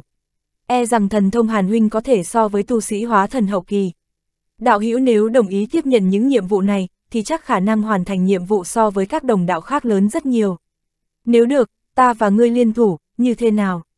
Nữ tử họ huyên thản nhiên cười nói, tuy rằng khuôn mặt nàng được che bởi một tấm lụa mỏng, nhưng vẫn không thể che được làn da cùng ánh mắt tuyệt đẹp. Hiển nhiên đây là một tuyệt đại giai nhân tư sắc hơn người. Hàn Lập nghe được lời này đầu tiên là có chút bất ngờ, nhưng rồi khi nhìn khuôn mặt nàng trong chốc lát sau, mới chậm rãi lắc đầu. Đạo hữu thật sự quá lời rồi, tại hạ chẳng qua vừa mới tiến giai lên cảnh giới trung kỳ chưa được bao lâu, sao có thể so sánh cùng tiên tử. Còn về việc sẽ đồng ý nhận hay không nhận nhiệm vụ, Hàn mỗ chưa thật sự chuẩn bị tốt, hiện tại nếu đưa ngay quyết định thì có chút quá sớm. Hàn Lập nói đầy khách khí, nhưng lộ ra ẩn ý từ chối nhã nhặn. Huyền tính nữ tử nghe Hàn Lập trả lời vậy, trong mắt hiện lên vẻ thất vọng, nhưng cũng không có ý tiếp tục nói về vấn đề đó nữa. Sau đó, nữ tử cùng Hàn Lập Hàn Huyên vài câu rồi cáo từ rời đi trước. Sau khi bóng dáng nữ tử biến mất sau cửa sảnh, ánh mắt Hàn Lập mới thu lại, âm thầm suy nghĩ. Tuy rằng nữ tử này tu vi không kém, lại tu luyện một loại thần thông tên là Tam Thiên Thúy, nghe nói lợi hại phi thường. Nhưng nàng luôn luôn làm việc một mình, hơn nữa trên người hắn mang trọng bảo không muốn để người ngoài biết, cho dù là tiếp nhận nhiệm vụ này, cũng căn bản sẽ không nghĩ đến việc liên thủ. Huống hồ trước mắt Hàn Lập còn một chuyện trọng yếu, cho dù ngày mai việc bùng nổ dị tộc công thành, hắn cũng không cách nào rời đi. Hắn vẫn cho hơn vạn con vệ kim trùng ăn nghe thường thảo, rốt cục ở một năm trước đã đủ điều kiện để chuyển hóa sang thể trưởng thành hết thảy. Tất cả đã được hắn dùng bí thuật có được từ thiên lan thánh nữ té luyện thúc dục một lượt. Ngắn thì mấy tháng, lâu là vài năm, loại linh trùng này mới chuyển hóa hoàn toàn sang thể trưởng thành, làm sao hắn có thể dễ dàng bỏ đi trong lúc này gây ra việc gián đoạn tiến hóa, khiến loại linh trùng này tiến dai thất bại. Hàn Lập trong lòng có chút lo lắng, khẽ thở dài một hơi, cuối cùng đứng dậy rời khỏi nơi đây. Một đạo cầu vòng thanh sắc bùng lên, hướng về phía nội thành. Đợt tọa đàm hơn 10 ngày sau ở Thiên Quảng Điện, hắn không muốn bỏ qua cơ hội này. Trở lại thạch tháp, vừa từ trên không hạ xuống, Hàn Lập lập tức tiến vào tĩnh thất, mở ra cấm chế, khoanh chân ngồi tại một chiếc trên bồ đoàn trong tĩnh thất. Hắn khẽ lật bàn tay, trong tay hiện ra một bình ngọc màu vàng, từ trong bình đổ ra một viên đan hoàn màu xanh, rồi lập tức bỏ vào miệng. Nhất thời một tầng nhàn nhạt thanh quang hiện lên ở trên người. Hàn lập trong mắt tinh quang chợt lóe, đem song trưởng vươn ra, 10 ngón mở đều, rồi chậm rãi nhắm hai mắt lại. Phốc một tiếng vang nhỏ, chỗ đỉnh đầu Hàn lập linh quang chợt lóe, một nguyên anh cao hai tấc hiện lên. Nguyên anh chân đạp tiểu đỉnh, quanh thân có hơn 10 tiểu phi kiếm nhỏ như kim khâu đủ các màu sắc bay múa xung quanh, thoạt nhìn khí thế phi phàm. Nguyên Anh này cúi đầu nhìn thân thể bên dưới, nó vươn hai bàn tay, hai mắt sáng lên, khóe miệng khẽ cười. Miệng hé ra, một hỏa cầu bạch sắc được phun ra, hỏa cầu chợt lóe rồi bay về phía một bàn tay, nhất thời phanh một tiếng nổ to, ngọn lửa ngân sắc lập lòe đem bàn tay bên trong bao phủ trong đó. Một màn quỷ dị xuất hiện, nguyên bổn nhìn như bình thường, nhưng mặt ngoài bàn tay đột nhiên chợt lóe hắc mang, đồng thời trên năm ngón tay hiện ra xương trắng, trên đầu ngón tay đều có một cái đầu lâu trông rất sống động. Đầu lâu vặn vẹo trong hỏa diễm ngân sắc, dường như tất cả đều sống lại, đều hiện ra nét mặt bất đồng, có con trông thư sướng cực kỳ, có con lại dường như thống khổ không chịu nổi, ngoài ra còn có một bộ dạng ngơ ngác đờ đẫn. Nhưng vô luận loại bộ dáng nào, các đầu khô lâu này ở trong ngân diễm lúc lớn lúc nhỏ biến ảo không ngừng, mà càng thêm không thể tưởng tượng được chính là bàn tay hàn lập, nó cũng theo đó mà biến hóa hô ứng, tỏ nhỏ không ngừng, hơn nữa da thịt dần dần trở lên trong suốt, dường như không còn phải là thân thể huyết nhục, mà là một loại mỹ ngọc. Nguyên Anh khẽ nghiêng đầu, miệng lại hé ra, lại phun ra một đoàn hỏa cầu tới lòng bàn tay còn lại. ngân quang đại phóng, ngọn lửa yêu dị đem bàn tay này bao vây trong đó. Nhưng làm cho người ta khó có thể tin chính là bàn tay này ở trong ngân diễm không có giống bàn tay kia trở lên trong suốt, mà lại trở nên tối đen như mực. Một lát sau, trong lòng bàn tay cùng MU bàn tay đồng thời hiện ra đồ án một tòa núi nhỏ, mặt ngoài chấp động hôi mang thần bí lúc tối lúc sáng.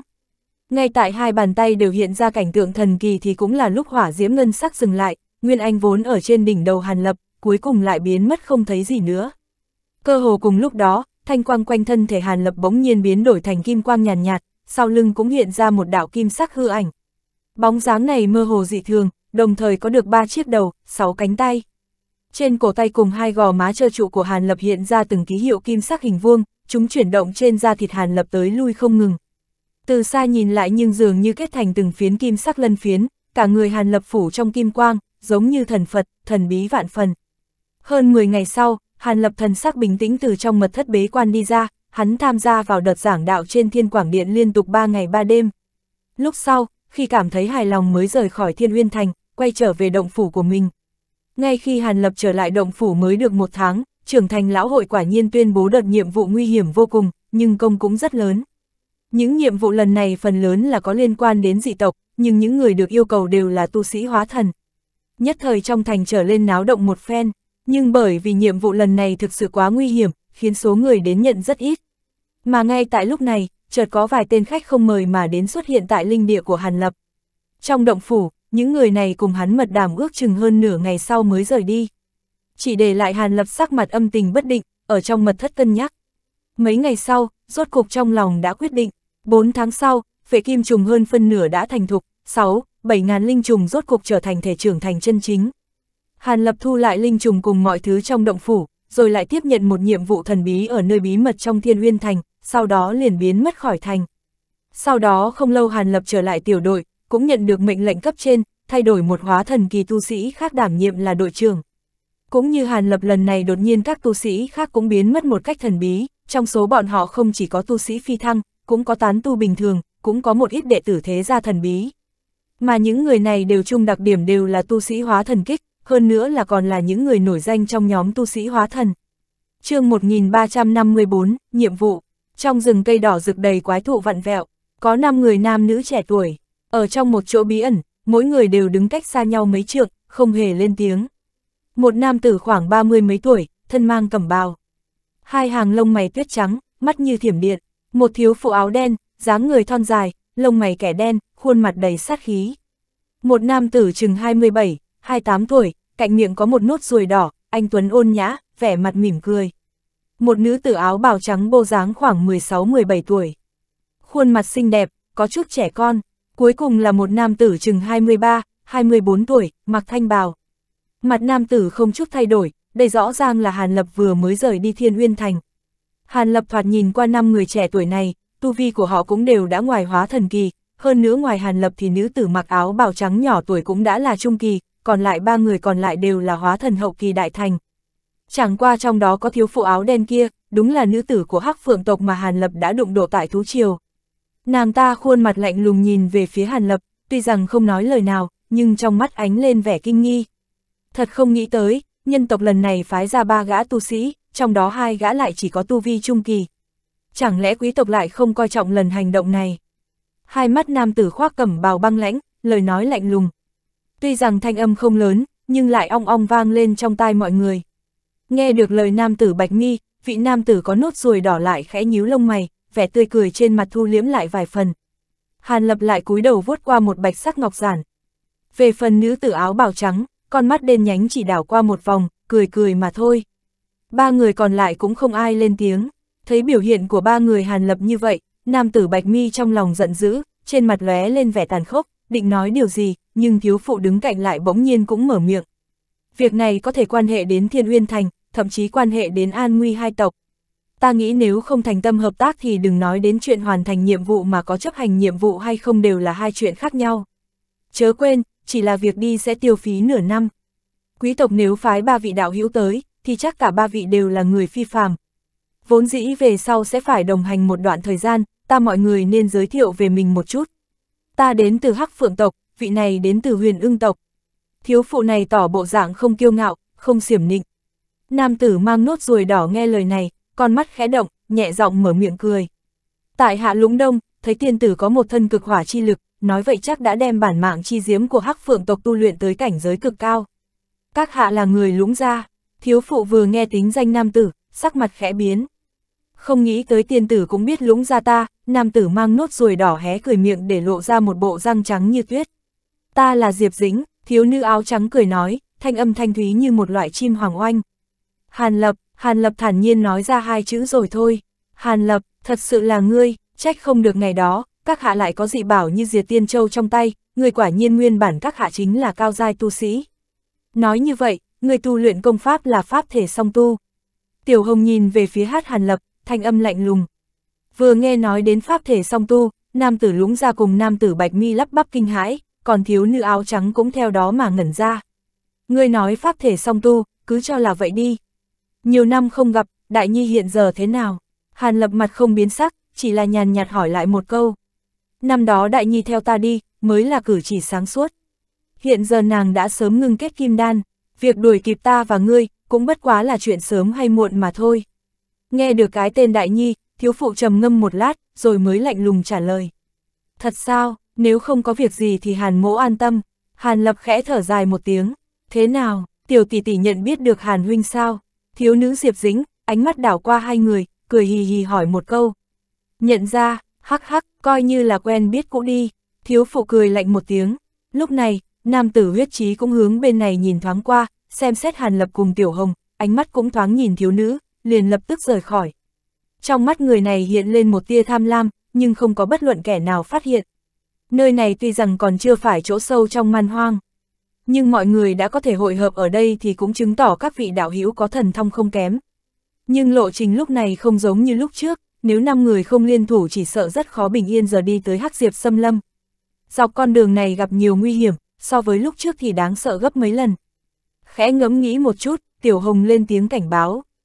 Vừa nghe đến mấy chữ Hắc Diệp Xâm Lâm, bốn người còn lại thần sắc biến đổi, đều có chút rung động. Nhiệm vụ lần này, thực chất là trên đường đi trừ bỏ bớt người của một linh tộc, thu hồi tin tình báo do những người nằm vùng của chúng ta từ trước cung cấp.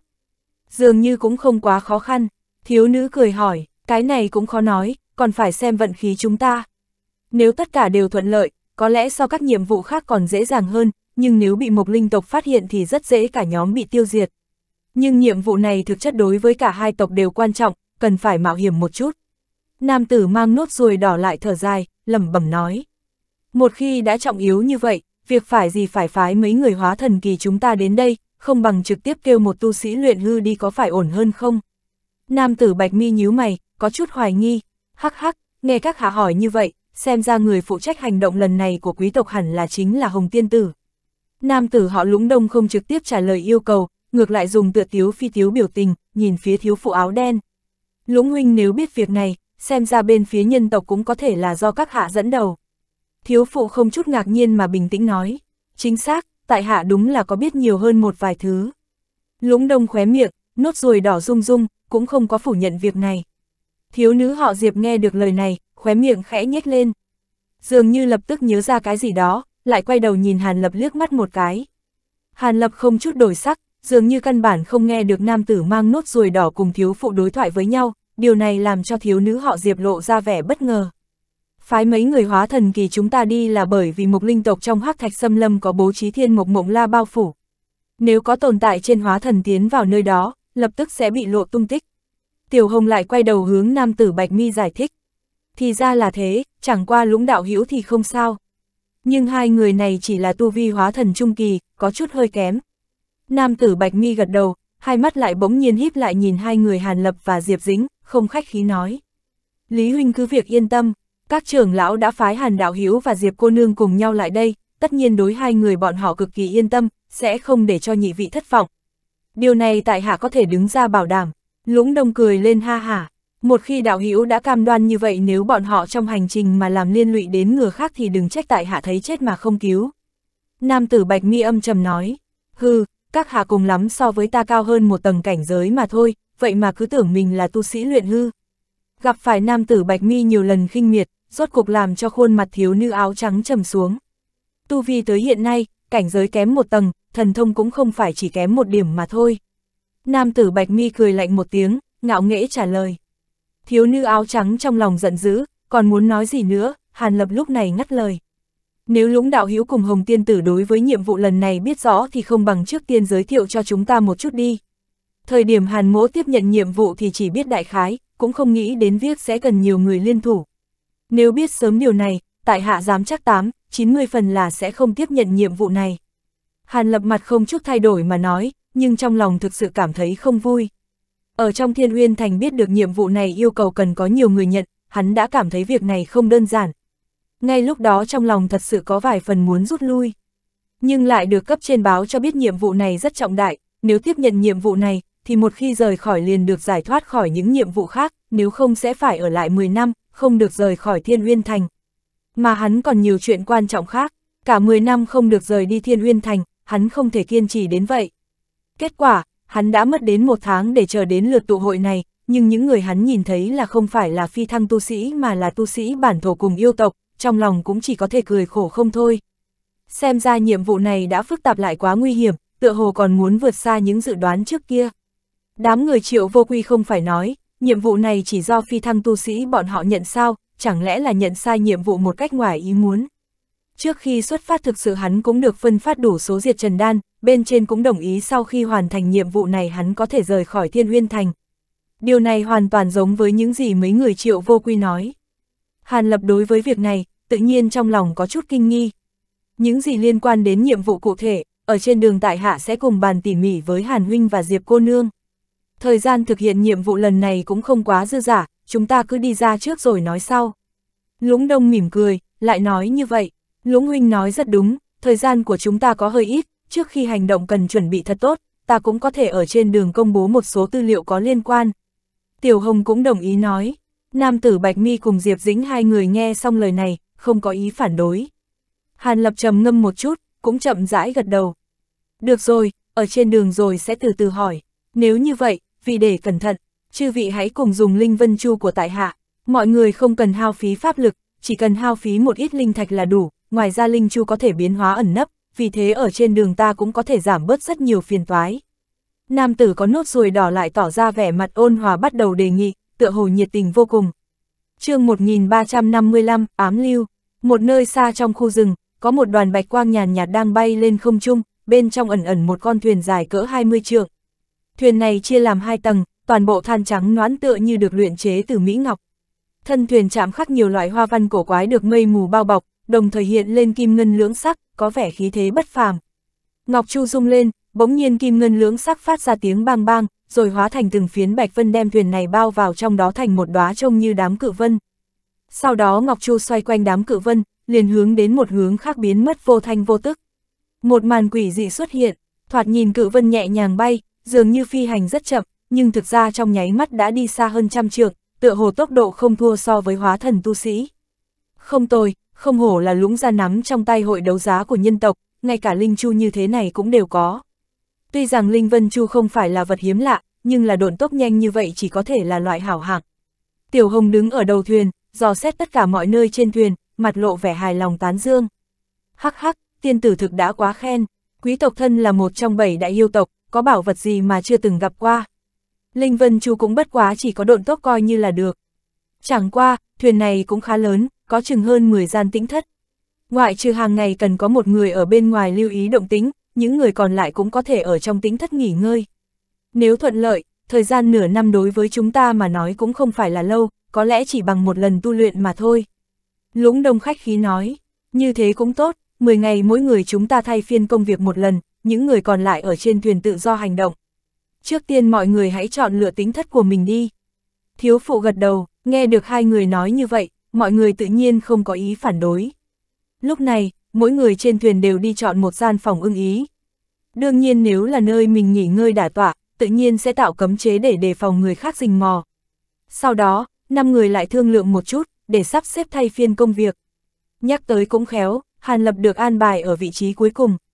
Thời điểm đến phiên Hàn Lập canh gác là 40 ngày sau. Tất cả đều đã an bài xong, Hàn Lập và những người khác cũng không nói thêm gì nữa, liền cùng nhau tiến vào trong tĩnh thất, mở ra cấm chế. Thiếu phụ áo đen cùng đám người kia không có biểu hiện gì khác biệt. Ngoại trừ lũng đông đang thực hiện công việc canh phòng, mọi người còn lại đều lập tức tiến nhập vào phòng của mình. Lũng đông thấy tình hình này, khóe miệng hơi mở rồi lần nữa lại đi đến đầu Linh Chu, hai tay chợt đan vào nhau rồi vung lên, bỗng nhiên xuất ra một lục sắc bổ đoàn, bồ đoàn hạ xuống mặt đất, hắn liền khoanh chân ngồi ở trên đó. Hừ, nửa năm, thực mong chờ đến ngày đó.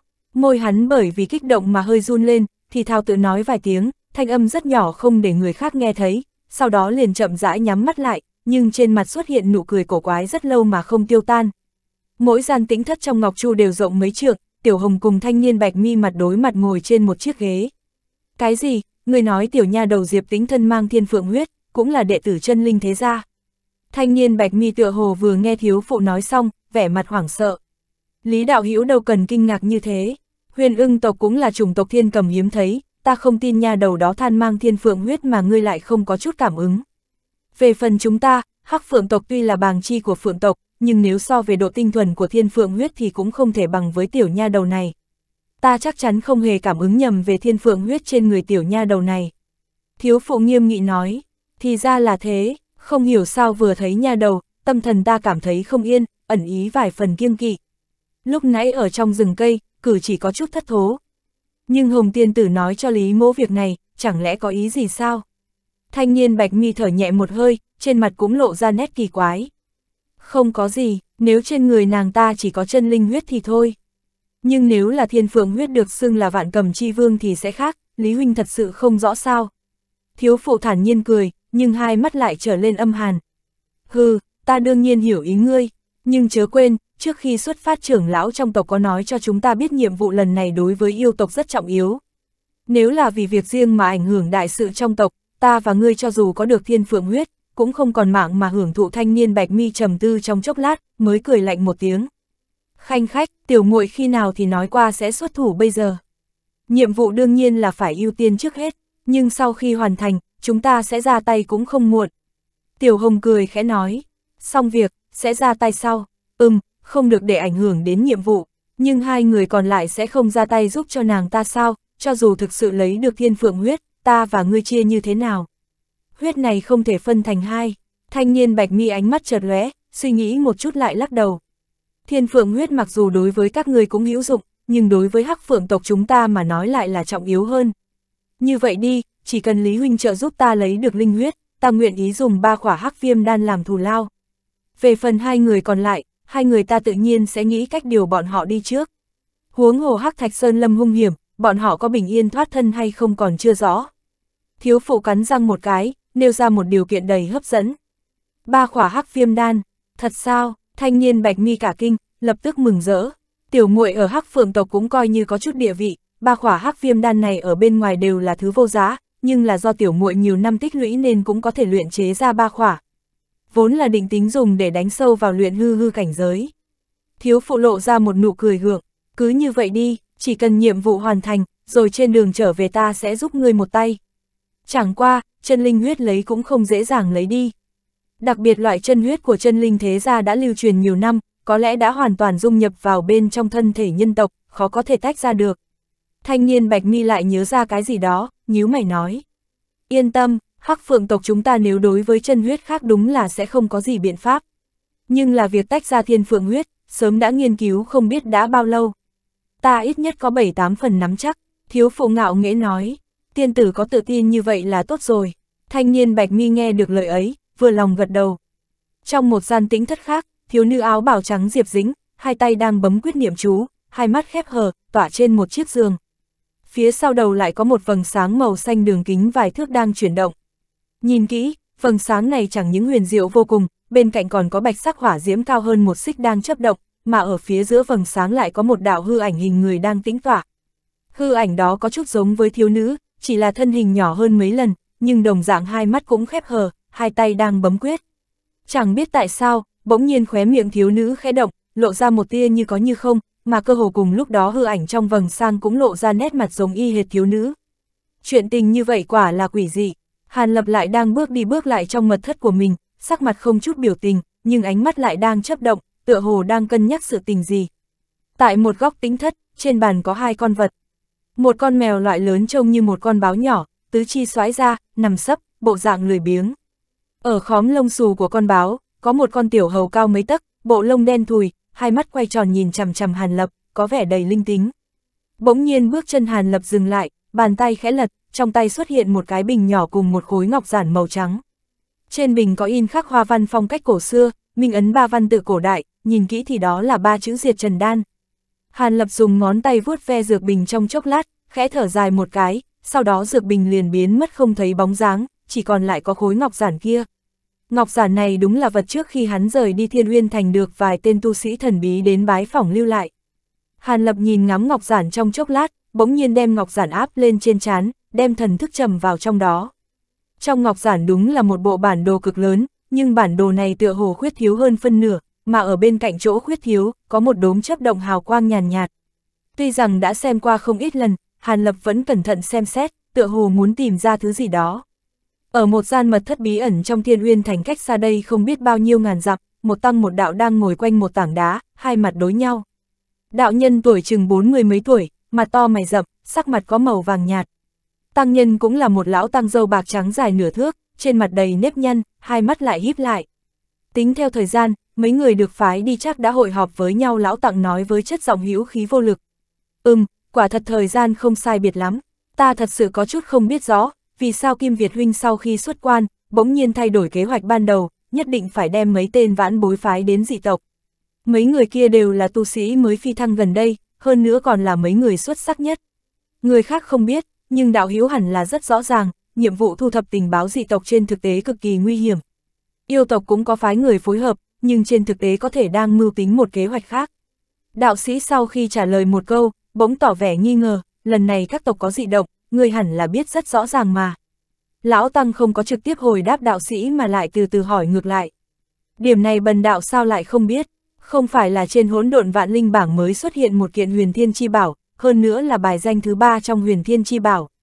Nghe nói gọi là huyền thiên trảm linh kiếm đạo sĩ vừa nghe lão tăng này hỏi, trong lòng dùng mình, thần sắc bất giác ngưng trọng vài phần. chương 1356, Tử ảnh, Thánh Hoàng. Chính xác, có lẽ vài ngàn năm sau mới có thể xuất hiện chuyện dị tộc công thành, thậm chí bùng nổ đại chiến trăm tộc như trong truyền thuyết. Lão Tăng thì thào một tiếng, Kim Việt huynh cần gì phải giấu giếm, việc này ta cũng biết. Nhưng việc vừa rồi cùng các tộc nghị luận có quan hệ gì? Các tộc hiện tại căng thẳng như vậy, chẳng lẽ là đều sợ bị cuốn vào trong đó sao? Bộ dạng đạo sĩ vẫn có chút khó hiểu, sợ bị cuốn vào, hắc hắc, việc này nếu xảy ra, bộ tộc nào có thể tránh né? Căn cứ lẽ thường mà nói, mỗi lần huyền thiên chi bảo xuất thế, đều tạo ra một trận huyết vô tinh phong, khi ấy mới thực sự xuất thế. Mà cuối cùng chủng tộc nào có được bảo vật này, đều coi nó là bảo vật cung phụng, mời tồn tại cấp chân linh làm thủ hộ giả cho bản tộc, khiến bản tộc trở thành chủng tộc cường đại trong linh giới. Tồn tại cấp chân linh có thể so sánh cùng tiên nhân. Đương nhiên ở trước khi chân linh cường đại xuất hiện, chủng tộc có bảo vật cũng rất muốn có được uy lực của bảo vật. Nếu chủng tộc có được bảo vật quá yếu nhược, có đôi khi đem bảo vật này hiến cho chủng tộc cường đại khác để mong được che chở, hoặc là phải vứt bỏ trong hoang dã, để tránh thoát tai ương diệt tộc. Lão Tăng từ từ nói, đạo sĩ vẫn yên lặng nghe, vẫn không nói gì. Tăng nhân dừng lại một chút rồi lập tức nói thêm, theo lý thuyết huyền thiên chi bảo xuất thế đâu, với thực lực hai tộc nhân yêu rất khó đoán trước. Nhưng trong yêu tộc lần này một gã hợp thể kỳ có thiên phú tiên đoán, bởi vì hắn tự biết không có hy vọng vượt qua đại thiên kiếp nên kích phát tiềm lực, dùng pháp lực cả đời bói một quẻ về chỗ hạ lạc của bảo vật này. Theo như quẻ thì huyền thiên trảm linh kiếm nằm ở phía tây bắc phong nguyên đại lục của nhân tộc ta. Tuy rằng phong nguyên đại lục là một trong ba khối đại lục, nhưng cửa đó lại rất nhiều so với các đại lục khác. Góc tây bắc đó có nhân tộc chúng ta, yêu tộc, linh tộc, mộc tộc, giả xoa tộc, ảnh tộc cùng 6-7 chủng tộc lớn nhỏ khác cũng có thể nó sẽ xuất hiện ở trong nhân tộc chúng ta. Hiện giờ tin tức này chỉ có người của hai yêu tộc biết, nhưng nghĩ đến không thể gạt được bao lâu, dù sao trong hai tộc khẳng định đều có thám tử của dị tộc khác. Một khi dị tộc khác biết được việc này, hậu quả như thế nào, người hẳn là rất rõ ràng. Lão Tăng nói xong lời cuối cùng, liền nở nụ cười khổ. Cái gì, lại có sự tình này, nói thế chẳng phải nhân tộc chúng ta rất có thể sẽ bị diệt tộc sao? Sắc mặt đạo sĩ xanh mét, theo truyền thuyết thượng cổ, chỉ cần ở trong thời gian nhất định tại một khu vực có rất nhiều sinh linh cường đại bị giết, thì có thể thông qua phương pháp huyết tế thần bí, mạnh mẽ đã đem huyền thiên chi bảo triệu hồi. Lấy thực lực mấy tộc, mấy chủng tộc cường đại này tuyệt đối sẽ không để ý mà đem mấy tộc chúng diệt sát, để tiến hành huyết tế triệu hồi. Bách tộc đại chiến lần trước, không phải là hóa vô thuẫn mà hiện giờ bài danh thứ 4 cũng bị chủ nhân của nó mang theo liên tục chạy trốn vạn năm trên cả ba đại lục, mới cơ hồ đem 89 phần 10 các chủng tộc trên đó đều cuốn vào trong tràng chém giết, mà các chủng tộc nhỏ yếu bị giết cơ hồ đều trở thành đối tượng tiến hành huyết tế. Huống hồ chưa cần biết bảo vật này nằm trong tay tộc nào, chúng ta chỉ cần biết bảo vật sẽ xuất thế ở phía Tây Bắc. Vì bị tránh vận mệnh làm đối tượng huyết tế nên sẽ lập tức bùng nổ đại chiến, tranh thủ khiến cho chủng tộc khác trở đối tượng huyết tế. Tăng nhân thở dài nói, thì ra là thế, các ngươi để cho vài tên tân phi thăng tu sĩ kia đột nhiên rời đi thiên huyên thành tới khu vực dị tộc, chẳng lẽ là hoài nghi. Đạo sĩ bỗng nhiên có chút giật mình, chính xác, huyền thiên chi bảo là vật thế nào? Có thể nói là nghịch thiên bảo vật có thể nghịch chuyển phép tắc, nhưng cũng chưa chắc đã là vật của linh giới chúng ta, cũng có thể được người từ hạ giới mang đến. Tuy rằng loại khả năng này cực nhỏ, nhưng là gần trăm năm phàm là hơi có chỗ khả nghi phi thăng tu sĩ, tất cả đều bị ta phái ra thiên chắc thành, đi dị tộc chấp hành nhiệm vụ nguy hiểm nhất. Mặc kệ nhiệm vụ hoàn thành hay không, bọn họ cuối cùng đều đã phát hiện mình trong khoảng thời gian ngắn, căn bản không có cách nào phản hồi thiên chắc thành. Đương nhiên những tu sĩ bản thổ bị hoài nghi cũng đồng dạng đều bị điều ra ngoài thiên uyên thành, lấy các loại lý do để đưa họ ra thế giới hoang dã. Trừ bỏ lý do này thì những kẻ có tư chất hơn người, tiềm lực kinh người, cũng sẽ được phân phó đến thế giới hoang dã. Chỗ tốt của việc này là nếu trên người họ có mang huyền thiên trảm linh kiếm thì cũng có thể nói là kịp di rời bọn họ trước đại chiến. Nếu đại chiến xảy ra mà hai tộc nhân yêu đại bại thì nhóm người này cũng chính là hy vọng còn lại của hai tộc chúng ta. Tăng nhân nghiêm nghị nói, cần gì phiền toái như vậy, nếu muốn điều tra rõ huyền thiên chi bảo kia có nằm trong tay bọn họ hay không, chúng ta hoàn toàn có thể. Hoàn toàn có thể dùng khống thần bí thuật, tìm tòi thần thức tất cả một lần. Nhưng nếu tìm ra được huyền thiên trảm linh kiếm ở trong tay tộc ta, thì có chỗ tốt gì? Vật ấy căn bản một củ khoai lang nóng phỏng tay, người có thể bảo chứng rằng ở trong trường lão hội không có người của dị tộc ẩn núp không? Một khi tin tức này bị tiết lộ, chẳng những nhân tộc chúng ta trong khoảng thời gian ngắn lập tức hợp thành cái đích cho mọi người nhắm vào. Thậm chí ngay cả yêu tộc vì tự bảo vệ mình cũng có có thể rời khỏi liên minh cùng chúng ta. Đến lúc đó, nhân tộc chúng ta không nghi ngờ là sẽ bị diệt tộc.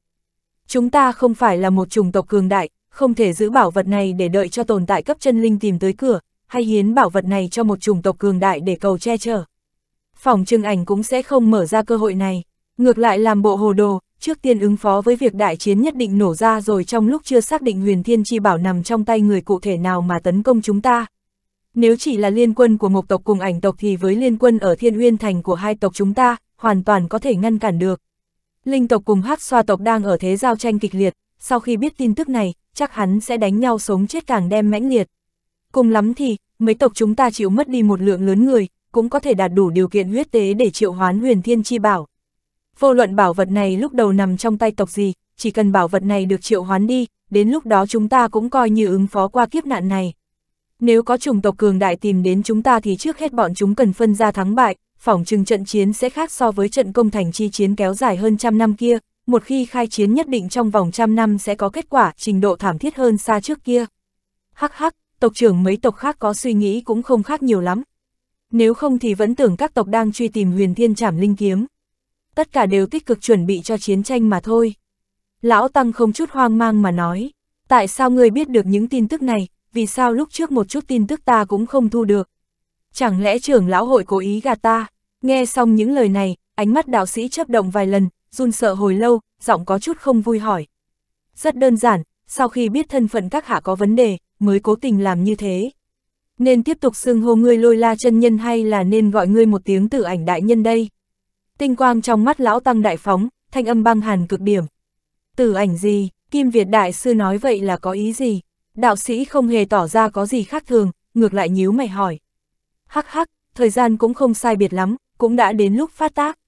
Lão Tăng không để ý tới đạo sĩ nói, ngược lại ánh mắt đảo vào góc thượng trên một lư hương, ở phía trên có cắm một cây hương đã cháy hơn phân nửa. Thời gian gì tới rồi? Không đúng, nhang này. Hai mắt đạo sĩ tử quang chợt lóe, sắc mặt có chút đại biến, cơ hồ cùng lúc đó, từ người đạo sĩ bỗng nhiên bắn ra một bóng màu tím, lao thẳng tới lão tăng đối diện. Lão tăng ngồi đối diện vẫn bất động, tay áo chỉ khẽ phất một cái. Oanh một tiếng, kim quang chợt lóe, từng chàng phạm văn hiện lên. Tử ảnh bị đánh bật trở lại rồi đụng vào vách của mật thất, toàn thân co lại, rốt cuộc không thể có bất kỳ hành động gì. Đúng lúc này tại vách tường thanh quang chợt lóe, một ngọc bát màu xanh bỗng nhiên hiện lên, nó khẽ lật liền phun ra một mảnh thanh hà, nháy mắt đem tử ảnh thu vào trong đó. Quả thật tứ thần hương đối với ảnh tộc có khắc chế, quả nhiên danh bất hư truyền, ngay cả tử ảnh cũng không thể chống được. Trên vách tường bạch quang chấp động, từ đó lại hiện ra một nho sinh trung niên nho nhã, người này vận một thân áo bảo trắng, cử chỉ đầy thong dong. Thiên Nguyên Huynh, đa tạ đã cho mượn thần hương, nếu không thật không dễ để bắt lấy nghiệp chướng này. Lão Tăng vừa thấy nho sinh, lập tức đứng dậy hai tay chắp thành hình chữ thập thi lễ. Kim Việt Đại Sư đa lễ rồi, ta cũng cũng may mắn tu luyện được một môn thần thông, từ đó mới phát hiện lôi la chân nhân đã bị tử ảnh nhập thể, đáng tiếc lôi la chân nhân đạo pháp kỳ tài, vậy mà rơi vào kết cục như vậy.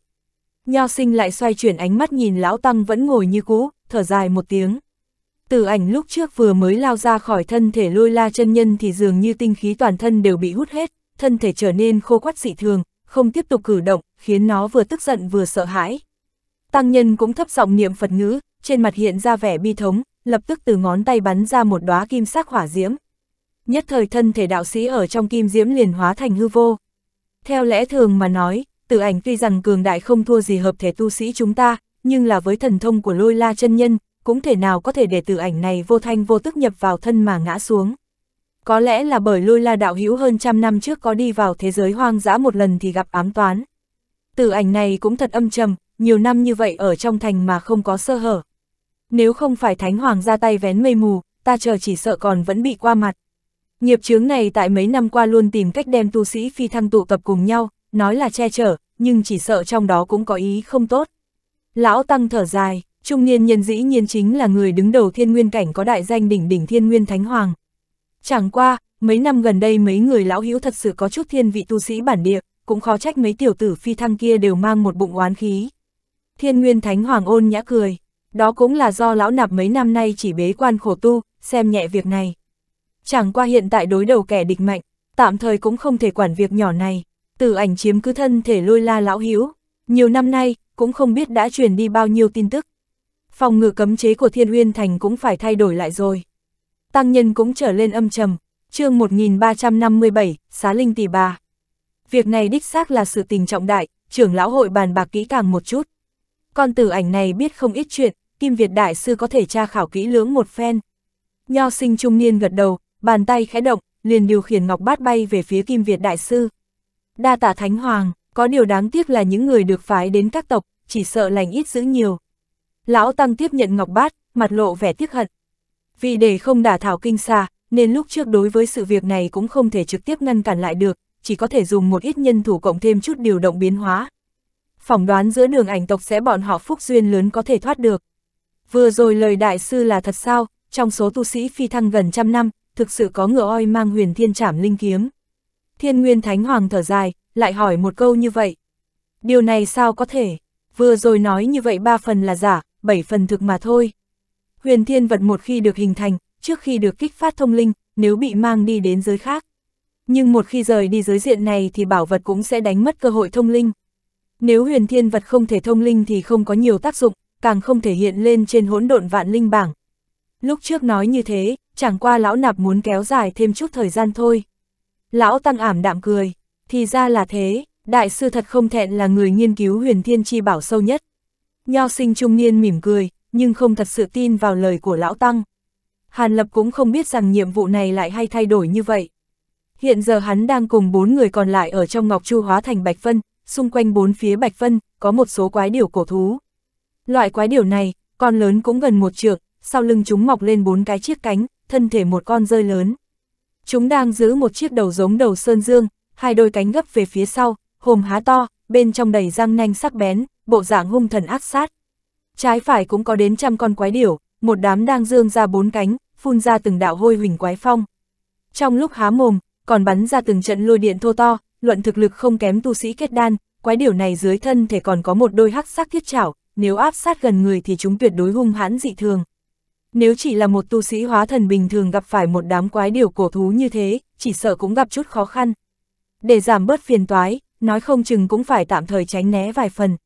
Trong đám người Hàn Lập lại có đệ tử chân linh thế gia, lại có yêu tu hóa hình của bảy đại yêu tộc, cộng thêm vào đó là một kẻ quái thai như Hàn Lập, nên đang điên cuồng tiến công mấy quái điều này.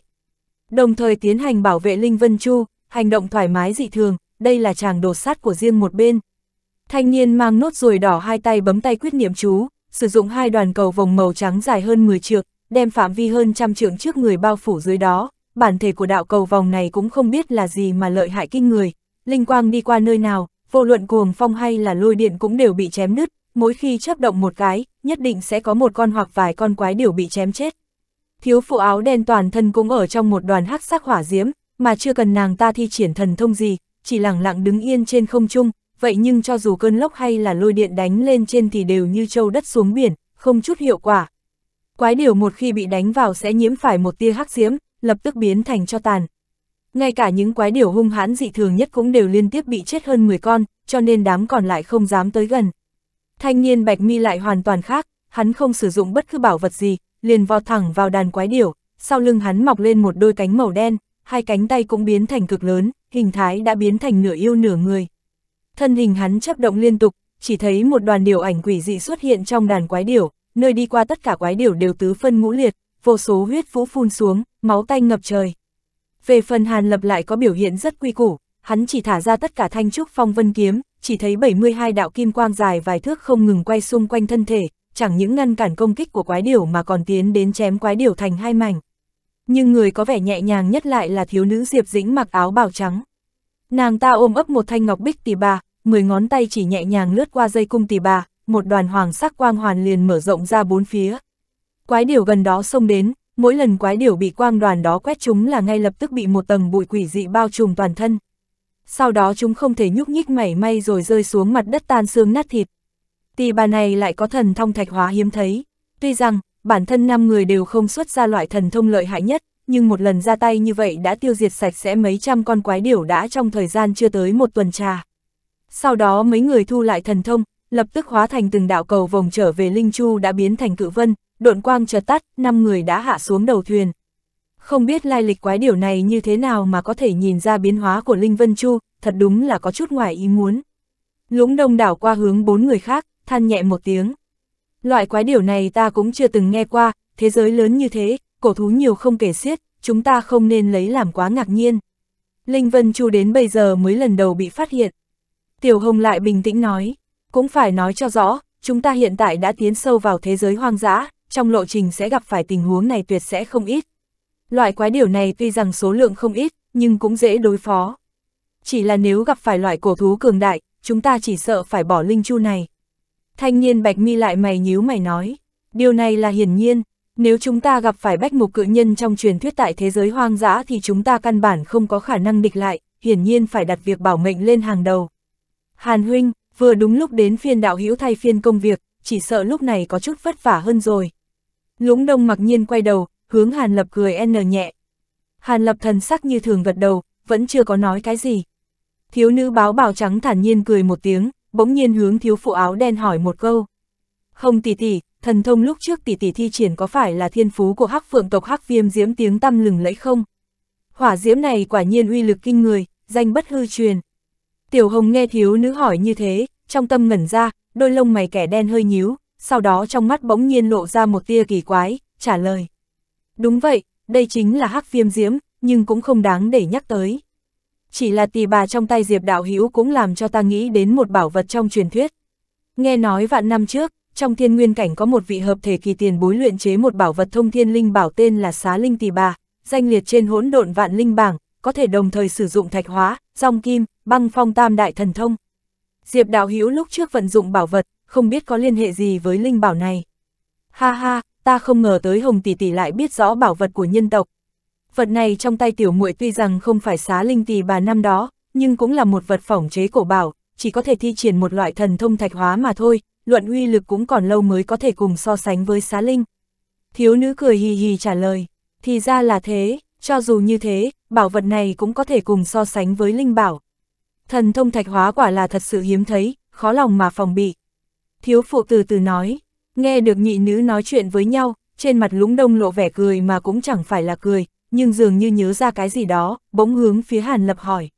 Hàn đạo hữu người tu luyện phi kiếm thật kỳ lạ, đồng thời có 72 khẩu, thoạt nhìn đã trọn vẹn, hơn nữa uy lực tựa hồ không phải bình thường. Điều này cũng làm cho ta cũng nhớ tới năm đó có một vị tiền bối cũng là tu sĩ phi thăng, mặc dù là một là luyện hư hậu kỳ, nhưng khi bày ra kiếm trận gồm 72 thanh phi kiếm, lại có thể cùng một gã hợp thể tu sĩ chiến đấu mà không rơi vào thế hạ phong. Lúc ấy cũng coi như chấn động một thời, chẳng qua lúc đó kiếm quang của tiền bối đó đều là thanh sắc, so với phi kiếm của Hàn Huynh cũng có chút khác biệt. Không biết phi kiếm của Hàn Đạo Hiếu, có kiếm trận thần thông không? Lũng đông dường như đối mặt nhìn thấy Hàn Lập thi triển thanh trúc phong vân kiếm cảm thấy hứng thú. a thực tình tại hạ cũng không biết tôn tính vị đại tiền bối này, cũng không biết tiền bối đó thi triển loại kiếm trận nào. Tại hạ tu luyện phi kiếm nhiều như thế, là muốn lấy số lượng để khắc địch mà thôi, thực chất chưa hiểu kiếm trận gì. Hàn Lập nghe vậy trong lòng vừa động, nhưng mặt ngoài thản nhiên trả lời. a lũng đạo hữu nói về người này, bản thân ta cũng đã được nghe nói một phần. Nghe nói tiền bối đó tên là Thanh Nguyên Tử, cũng là một vị kỳ nhân năm đó. Tuy rằng không biết hắn tế luyện loại kiếm trận nào, nhưng nghe nói công pháp tu luyện là do chính bản thân sáng lập ra. Đáng tiếc là, nghe nói vị tiền bối này vào những năm trước tiến vào thế giới hoang dã, rồi thấy bật vô tin tức.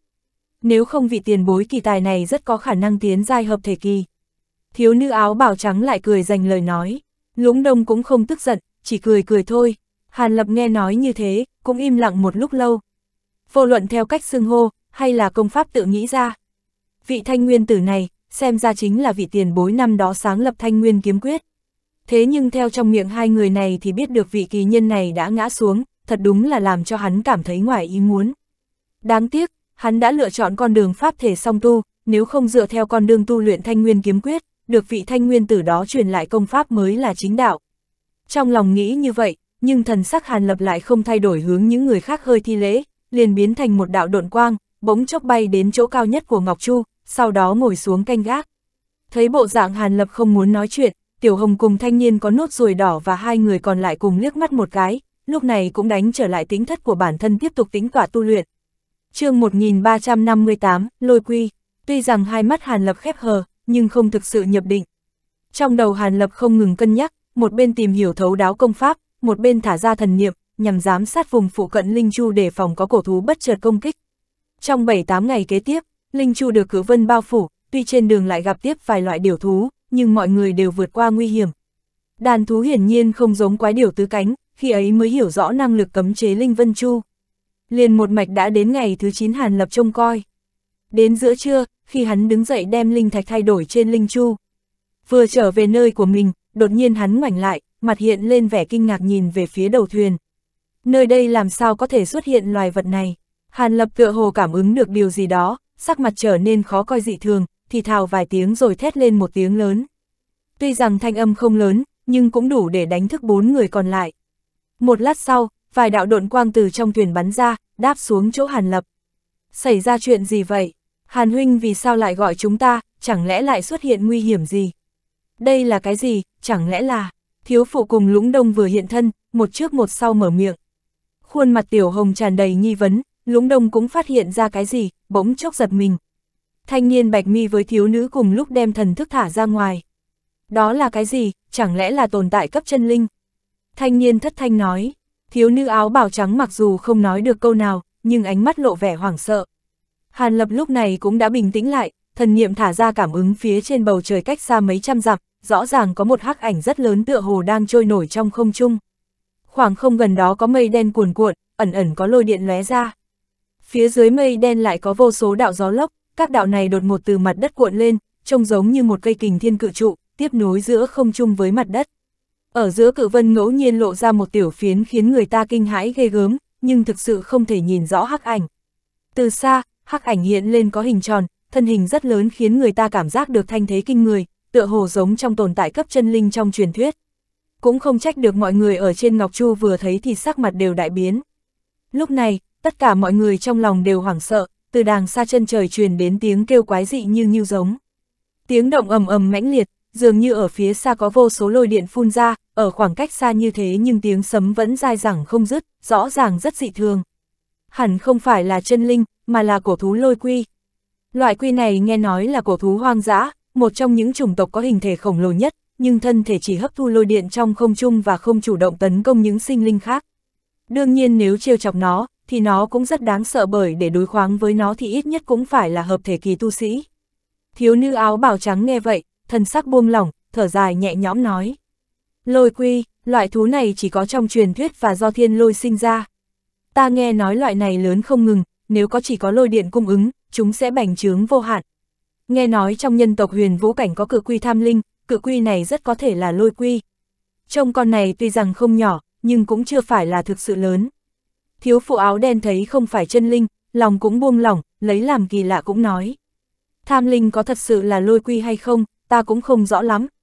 Nhưng nếu là vậy thì con lôi quy không bằng một phần vạn của tham linh cự quy. Cho dù vậy, nếu chúng ta chọc giận tới con cự quy này thì cũng khó giữ được cái mạng nhỏ, chỉ bằng né tránh con thú này là hay nhất. Lũng đông cười nói, như vậy đây đúng là cơ duyên không nhỏ. Loại lôi quy này bình thường đều ẩn núp, ít khi lên mặt đất, người bình thường không có khả năng nhìn thấy. Nhưng khi nó trồi lên mặt đất thì chắc chắn có chuyện không hay, bởi nó xuất hiện ở đâu, thì nhất định nơi đó sẽ có lôi bạo. Lũng huynh mau đưa Linh Chu ra khỏi khu vực này thôi. Tiểu Hồng vừa gật đầu, nhưng đột nhiên nhớ ra việc gì đó đáng sợ, sắc mặt tái nhợt vô cùng, kinh hoàng kêu lên. Lôi bảo, vừa nghe lời này, mọi người sắc mặt đều đại biến. Lũng đông xanh cả mặt, thân hình nhoáng lên một cái, bỗng nhiên biến mất tại chỗ, rồi xuất hiện ở đầu thuyền cách xa hơn 10 trượng. Một tay khẽ lật, trong tay xuất ra một cái lệnh bài pháp khí. Chỉ thấy hai tay cùng xoa lên lệnh bài, bốn phía bạch phân trải rộng, trong nháy mắt Linh Chu đột nhiên chuyển hướng, độn tốc ngày càng nhanh hơn, tiếp đến hóa thành một đạo bạch hồng bay thẳng hướng chân trời. Nhưng khi Linh Chu chưa thoát ra ngoài được 10 dặm, thì bóng đen trên không lại xuất hiện.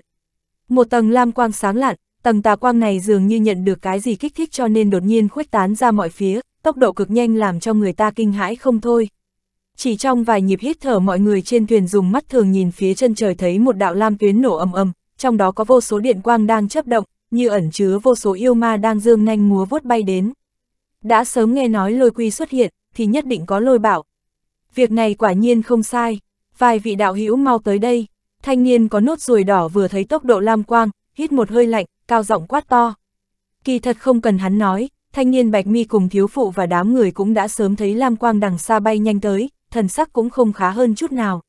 Không nghĩ nhiều, hai người đều bấm quyết niệm chú, trên thân toát ra linh quang đến chói mắt, lưu chuyển không ngừng hướng đến phía trên linh chu. Hàn Lập cùng thiếu nữ áo bào trắng cũng không chậm trễ mà lập tức hành động. Nhất thời ba cỗ linh lực cùng hướng đến linh vân, đồng thời nhập vào trong. Bỗng nhiên dưới chân thuyền phát ra âm thanh, rồi đột nhiên rung lên. Bên ngoài, cảnh sắc hoàn toàn mơ hồ. Trong nháy mắt, linh chu biến ảo thành một đạo lưu quang hư ảnh lập tức đã di chuyển đến chỗ khác. Chẳng qua tốc độ của đạo Lam Tuyến cũng không chậm mà cũng sánh ngang Linh Chu, nó đang theo sát phía sau. Điều này làm cho lũng đông và đám người hoảng sợ, thế mới biết lôi bạo trong truyền thuyết đáng sợ thế nào, quả là danh bất hư truyền. Nhưng may mắn mấy người cùng liên thủ khiến độn tốc Linh Vân Chu phát huy tới cực hạn. Nếu thay vào đó là một hóa thần tu sĩ bình thường không am hiểu độn tốc, chỉ sợ căn bản trốn không thể trốn. Đương nhiên Hàn Lập và mọi người không phải là hóa thần tu sĩ bình tê hường, tất cả đều tự có được một ít bí thuật bảo mệnh, một mình thúc giục độn thuật, cũng không nhất định kém hơn Linh Chu bao nhiêu. Nhưng là làm như thế thì hậu quả cũng không ít, không chỉ đại thương nguyên khí mà chính là hao tổn huyết khí. Tại thế giới hoang dã bước bước nguy hiểm này, ai cũng không dám mạo nhiên làm như vậy. Cho nên, lúc này đây Hàn Lập cùng đám người khu động Linh Vân Chu đều thật sự đồng tâm hiệp lực, làm cho Linh Chu một hơi liền đoạn xa đến mấy vạn dặm. Phía sau rốt cục không thấy bóng dáng lam quang, cũng không nghe thấy tiếng sấm nữa. Mọi người lúc này trong lòng mới buông lỏng, linh quang bên ngoài thân chợt tắt, tất cả đều đã thu lại linh lực. Độn tốc linh chu từng chút chậm lại, nguy hiểm thật, lần này cũng thật mệt, Hồng Tiên Tử phản ứng rất nhanh, nếu hơi chút chần chờ, bọn ta đều đã bị cuốn vào trong lôi bạo. Tuy rằng không nhất định là sẽ lạc ở trong đó, nhưng tuyệt đối khó có thể toàn thân trở ra. Lũng đông thần sắc cuối cùng cũng khôi phục lại, hướng thiếu phụ mỉm cười nói. Thiếp thân cũng là may mắn, tuy rằng lôi quy không nhỏ, nhưng là nó cũng có tập tính riêng. Trong tộc tiểu muội từng có một vị trưởng bối, một mình đánh chết một con lôi quy, cho nên biết một ít thông tin là lôi quy đều ẩn núp ngầm, không dễ dàng trồi lên mặt đất, chỉ cảm ứng được nơi nào có lôi bạo bùng nổ, mới hiện thân hút lôi điện. Nhưng nếu là lôi quy trưởng thành thì trong cơ thể sẽ sinh ra hai khỏa dị châu, một viên dẫn lôi, một viên tích lôi. Công dụng hai viên kỳ châu to lớn, nghe nói thần diệu vạn phần, cho dù người không có lôi linh căn nếu có châu này cũng có thể dễ dàng thao túng lôi điện lực. Năm đó vị trưởng bối trong tộc kia đánh chết lôi quy, chỉ là một con ấu quy, cho nên vẫn chưa có được hai viên kỳ châu. Chẳng qua, lôi quy ẩn chứa lôi điện lực kinh người, cũng hiếm thấy, tất cả đều là những tài liệu luyện chế lôi thuộc tính bảo vật tuyệt hảo. Nếu là tu sĩ đại thần thông nào nhìn thấy được quy này, chỉ sợ ngược lại là mừng rỡ như điên. Tiểu Hồng lại cười khổ vài tiếng, vị tiền bối kia có thể một mình liệp sát kỳ thú, nhất định là một trong mấy vị trưởng lão của quý tộc. Nhưng quy này đối với hóa thần chúng ta mà nói, chỉ việc quá mơ mộng hão huyền. Lần này có thể tránh được một kiếp, đã muốn xem như một đại vận. Thanh niên bạch mi lại nhếch miệng, tựa hồ vẫn nghĩ đến chuyện gặp phải lôi quy cùng lôi bạo việc mà sợ hãi không thôi. Chính xác, lôi quy tuy cả người là bảo, nhưng không có tu vi hợp thể thì căn bản không nên vọng tưởng. Hơn nữa lôi bạo vừa kết thúc, con thú này nhất định đã lặn xuống dưới mặt đất, không tìm ra tung tích. Đi thôi, hy vọng lộ trình tiếp theo có thể thuận lợi một chút.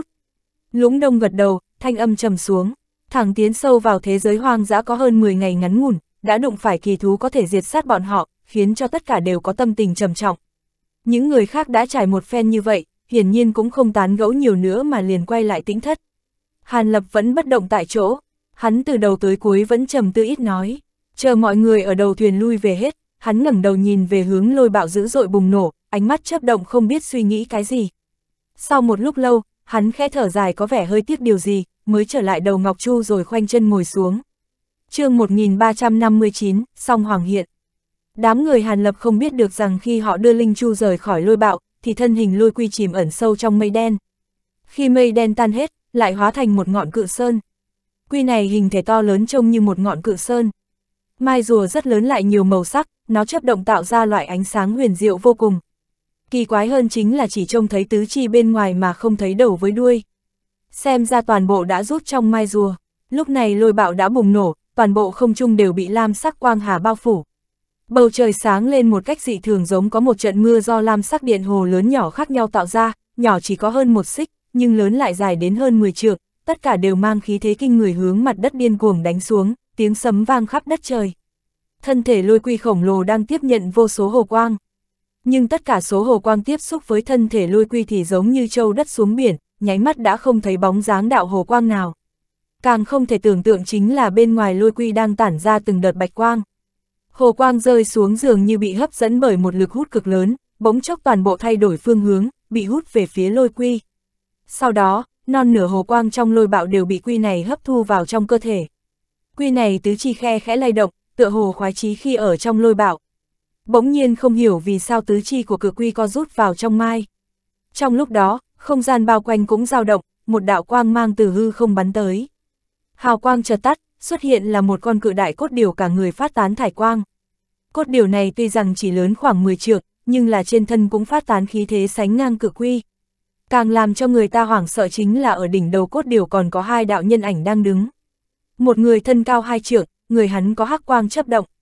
Tên còn lại dáng người bình thường, xung quanh tên này có một đoàn đạm vân bao quanh nên không thấy rõ hình dáng. Chính xác, chính xác, không nghĩ tới là nơi đây lại may mắn gặp được một con mồi tốt như vậy. Nay ta luyện chế 10 cự ma, còn khiếm khuyết một ít tài liệu, con lôi quy này cũng miễn cưỡng dùng tạm được. Một đạo nhân ảnh nhìn cự quy, lẩm bẩm nói, thiên diệu huynh, loại này cả người là bảo, 10 cự ma dù sao cũng chỉ cần một ít khung xương mà thôi, ta giúp người chém giết con quy này, nhưng tại hạ xin lĩnh hai viên lôi châu nằm trong cơ thể lôi quy. Tên còn lại nghe vậy liền cười nói, hừ, huyền vũ huynh thật ra có tính toán gì, quy này trên người quý giá nhất là hai viên lôi châu, đạo hữu lên tiếng đã muốn lấy đi hai viên này, không biết điều đó là không thể sao. Thiên diệu trên người hiện lên lục khí, hư một tiếng, tựa hồ có chút bất mãn. Hắc hắc, lôi châu tuy rằng thần diệu nhưng đối với ta và ngươi mà nói cũng không có gì là trọng dụng, chẳng qua ta muốn bởi vì nó có tác dụng khác mà thôi. Nếu không, ta dùng một khối cũng đủ rồi người này tựa hồ không muốn cùng đối phương tranh cãi mà trực tiếp đưa ra điều kiện của mình. Bất quá chúng ta hành động cần phải nhanh chút, nếu không sẽ làm lỡ đại sự. Chúng ta cũng không phải là đi siêu tập thiên tài địa bảo gì mà có trọng trách trên người. Nhất định phải đem tất cả các cứ điểm gần thiên uyên thành của dị tộc xóa sổ. Người trong đoàn lục khí cân nhắc một chút rồi mới đồng ý. Ha ha, quyết không làm lỡ đại sự, ta và ngươi liên thủ hơn nữa còn có khôi lỗi luyện chế từ di hài cổ phượng, diệt sát một con lôi quy mới trưởng thành thì có tốn bao nhiêu thời gian. Nhân ảnh cao giáo người vang, thân hình bay lên, vọt thẳng vào trong lôi bạo. Một lát sau, bên trong lôi bạo truyền đến một tiếng nổ kinh thiên động địa, lập tức cũng có thú giống kinh người truyền ra. Bóng người lục ảnh đứng trên lục ảnh khẽ lắc đầu rồi thở dài, tựa hồ đối với tính tình nóng nảy của đồng bọn cũng cảm thấy bất đắc dĩ. Hai tay hắn bấm niệm pháp quyết, đồng thời phía dưới chân xuất hiện thân hình cốt phượng điên cuồng bành trướng.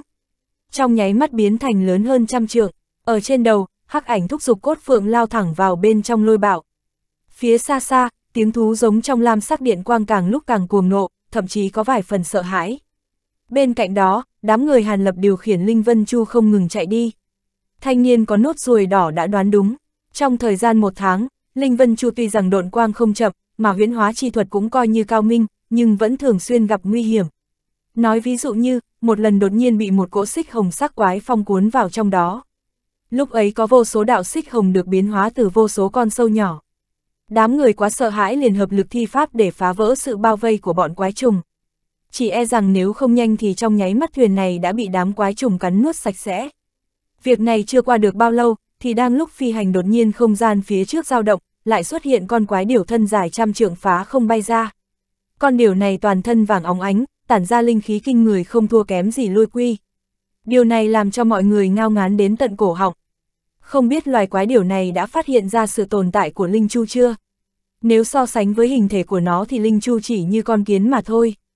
Vì thế nó chỉ vỗ cánh vài cái rồi bay mất, đám người Hàn Lập thở dài một hơi, lại quay mặt nhìn nhau cười khổ không thôi. Trên thuyền mọi người giờ mới cảm nhận sâu sắc được thế giới hoang dã đáng sợ như thế nào. Tất cả đều không còn tâm trí để mà tu luyện công pháp mặc dù ai lấy đều ở trong tĩnh thất. Mọi người đều đề cao cảnh giác, nhiệm vụ lần này quả nhiên không dễ dàng, đã mấy lần gặp nguy hiểm, may dựa vào mọi người đồng lòng nhất trí mới có thể vượt qua. Nhưng vận khí rồi cũng có một ngày hao hết, một ngày nọ, đến thời điểm thanh niên bạch mi thay phiên canh gác thì Hàn Lập đang ở trong tĩnh thất tìm hiểu phù chú chi đạo. Chợt bên ngoài có tiếng huyết gió cảnh báo, lúc này sắc mặt khẽ biến, nhưng chưa ai tới kịp thì đã cảm thấy toàn bộ thuyền rung chuyển, ai nấy đều đứng không vững, loạn choạng ngã. Hàn Lập trong lòng cả kinh, Ngọc Chu vẫn liên tiếp rung mạnh không ngừng. Lập tức bốn vách tường xuất hiện bạch mang lưu chuyển không chừng và bắt đầu vỡ vụn từng khúc. Hàn Lập sắc mặt trầm xuống, liền hóa thành một đạo kinh hồng lao ra từ nóc tính thất phá không bay ra. Bỗng chốc đỉnh tính thất đã xuất hiện một cái lỗ lớn. Hàn Lập thân hình thượng nhoáng lên, liền biến thành một đạo thanh sắc cầu vòng bắn nhanh đi, vài lần chớp lên hắn đã cách Ngọc Chu hơn 20 trượng. Bây giờ mới cẩn thận nhìn lên bầu trời, lúc này, chỉ thấy mấy đạo độn quang khác trong thuyền bay ra. Chính là đám người lũng đông nhanh chóng phán đoán tình huống, cũng phi độn rời khỏi Linh Chu. Toàn bộ rời đi trong nháy mắt, chợt nghe một tiếng nổ oanh, Linh Chu lúc này trong màn bạch mang hoàn toàn nổ tung, tạo nên cố cuồng phong thổi quét tới chỗ mọi người. Mấy người đều là hóa thần tu sĩ, tự nhiên sẽ không e ngại Linh Phong này, một đám ổn định thân hình trên không đang ngóng nhìn Linh Chu. Trừ bỏ thanh niên Bạch Mi đang thực hiện canh gác, những người khác không biết chuyện gì đang xảy ra. Cuối cùng vì sao Linh Vân Chu bị hủy diệt, mọi người lại đưa thần niệm đảo qua một lần nữa, nhưng đều không thấy vật gì. Lúc ấy, mấy người đều nghi hoặc không thôi, Lý Huynh, là ai công kích chúng ta? Tiểu Hồng vội vàng mở miệng hỏi, các người hướng xuống xem đi, thanh niên Bạch Mi trở lên âm trầm, lạnh giọng nói. Vừa nghe lời này, mấy người sửng sốt, thần niệm lập tức quét xuống mặt đất, kết quả, tất cả đều trông thấy tình hình một cách rõ ràng, thiếu phụ hô một tiếng, hàn lập lại nhíu mày. Chỉ thấy một mảnh núi non vô tận, lúc này mọi người đều ở trong khe núi giữa hai tòa cự sơn. Nơi này nhìn như bí ẩn dị thường, ở trong vô số cây cối to lớn đủ mọi màu sắc, thế nhưng lại xuất hiện một mảng trống trải dị thường, lúc này khu vực ở trung tâm có một cây thâm tử sắc cự thảo cao tới 30-40 trượng, mỗi một phiến lá của cự thảo đều như cự kiếm thẳng tắp, quanh thân sinh ra vô số mũi nhọn thoạt nhìn sắc bén dị thường. Mà ở này hai bên cự thảo, có hai con quái vật lớn đang giằng co nhau. Một con cự đại tích dịch chiều cao tới 50, 60 trượng, cả người xanh biếc, sau lưng mọc lên vô số các điểm màu đen lớn nhỏ khác nhau, ở phía trên cái đầu cổng lồ lại xuất hiện hai cái sừng đỏ như san hô. Một con kia cũng là man hoang cự nhân có thân thể khổng lồ cao 30 trượng, bộ mặt dữ tợn, cái đầu màu vàng, còn kiên khiêng một cây gậy gỗ đen thùi, nhìn về phía cự nhân, tất cả mọi người hít một hơi lạnh. Ở trên thân thể cùng tứ chi xuất hiện vô số con mắt, lành lạnh hàn quang. Chẳng qua, vô luận cự nhân hay là con thần lằn khổng lồ, đều coi đối thủ trước mắt như đại địch, nhãn quang tập trung vào cự thảo ở trung gian. Kể từ đó, Hàn Lập trong lòng máy động, thần niệm lập tức cũng hướng cự thảo kia cẩn thận quét qua. Ngay sau đó, Hàn Lập đại biến sắc mặt, tại trong những phiến lá hình kiếm kia, thế nhưng lại sinh ra một chuỗi quả giống như quả bồ đào. Mỗi một quả đều có lớn như nắm tay, căng mỏng, tán một cỗ kỳ hương mê người. Khi thần niệm đảo qua quả này, thì hột ở bên trong quả giống như một con tiểu long sống động, mỗi một con đều sáng bóng, giống nhau như đúc. Chỉ là thân mình tiểu long không hề có dấu hiệu của sinh mệnh, nhưng toàn thân tán xuất linh khí cực kỳ tinh thuần, cho dù Hàn Lập chỉ dùng thần niệm đảo qua, nhưng lại có thể cảm giác thấy thể xác và tinh thần trở lên thư sướng cực kỳ. chương 1360, Chi Long Quả Chi Long Quả, Hàn Lập trong lòng hiện ra những chữ này, thiếu nữ áo bảo trắng giật mình hô ra miệng. Lũng đông cùng đám người thiếu phụ vẻ mặt đều hiện ra sự sợ hãi vui mừng lẫn lộn. Mọi người đều nhận ra linh vật này, đây chính là chủ tài liệu của linh dược đằng long đan mà chỉ tu sĩ luyện hư mới có thể dùng, 3 vạn năm mới kết quả một lần, chỉ ăn không vào cũng có thể giúp tăng trưởng 60 năm công lực. Nơi này có một gốc cây, xem ra vừa mới thành thục không lâu. Chúng ta nếu có thể đến lấy thì quả này thì tạo hóa quả thật rất tốt. Thiếu phụ hai mắt tỏa sáng thì thào, thiếu nữ áo bào trắng cùng lũng quang mang trong mắt cũng chấp động không thôi. Hiển nhiên cũng rất động tâm, chủ tài liệu của đan được dùng cho tu sĩ luyện hư, chỉ sợ ngay cả những tu sĩ luyện hư bình thường cũng không có duyên mà gặp. Tại hội đấu giá bình thường, cũng đừng nghĩ sẽ có người bán đấu giá thiên địa linh dược này, nhiều lắm là do cao giai tu sĩ trao đổi cho nhau mà thôi. Nếu không thực thiềm linh huyết ngày đó dùng để luyện chế đan dược cho hóa thần hậu kỳ cũng đã không khiến cho nhiều người như vậy điên cuồng tranh đấu. Đan dược dùng từ hóa thần và luyện hư, tuy rằng nhìn như chỉ kém một bậc mà thôi, nhưng đem so sánh thì cách biệt như trời với đất. Nếu là có tu sĩ cầm chi long quả trước mắt đi tìm tu sĩ cấp luyện hư, đối phương tuyệt đối sẽ mừng rỡ vô cùng mà xuất ra một đống lớn đan dược cấp hóa thần để đổi lấy linh dược này. Dù sao thiên địa linh vật của linh giới tuy nhiều, nhưng những linh dược hữu dụng với luyện hư vẫn rất ít, phát hiện ra một gốc cây cũng cần có cơ duyên nhất định. Ở nơi linh dược vừa mới xuất hiện hoặc mới thành thục, sẽ thu hút khá nhiều tồn tại cường đại, nên căn bản linh dược thành thục không thể tồn tại trong thời gian dài. Đám người Hàn Lập không phải vì tìm thiên tài địa bảo mà tiến sâu vào thế giới hoang dã, chẳng qua đụng phải lôi quy hiện thế, tiếp theo lại gặp chi long quả, quả thực cơ duyên đã đến mức phúc duyên thâm hậu. Thường thường tu sĩ cao giai ở nơi hoang dã cả mấy chục năm còn không hề có thu hoạch gì. Hãy nhìn rõ tình hình phía trước đi, thanh niên bạch mi hừ lạnh một tiếng, cự nhân này chính là cự nhân trong thiên mục tộc cự nhân, những con mắt này đều có màu ngân bạch nên chúng thuộc loại chưa trưởng thành. Con tích dịch tuy nhìn không có gì bắt mắt kia lại khiến cho thiên mục cự nhân cũng phải kiêng kỵ, hiển nhiên nó cũng không phải là loại vừa. Chỉ sợ thực lực hai quái vật này đều là luyện hư sơ cấp. Hàn lập ở phía sau hai quái vật, chậm rãi nói. Hắn ở Thiên Uyên Thành cũng từ trong phường thị mua lấy một ít điển tịch liên quan đến thế giới hoang dã. Cho nên liếc mắt một cái liền nhận ra cự nhân tộc, nên vừa rồi mới đưa ra phỏng đoán. Nghe Hàn Lập nói vậy, thiếu phụ và lũng đông biết rõ là không giả, nhưng nhưng linh dược trước mặt lại là loại ngàn năm mới gặp, mấy người sao lại dễ dàng bỏ qua được, sắc mặt không khỏi trầm xuống. Đúng lúc này, tiếng động vù vù từ đàng xa truyền đến, đám người hàn lập ngẩn ra, bắt đầu nhìn ra xa. Chỉ thấy tiếng ông minh từ chân trời truyền lại, bảy tám con cự trùng dài hai trượng hiện ra, toàn thân phát ra hào quang đủ màu sắc, lao cực nhanh tới bọn họ.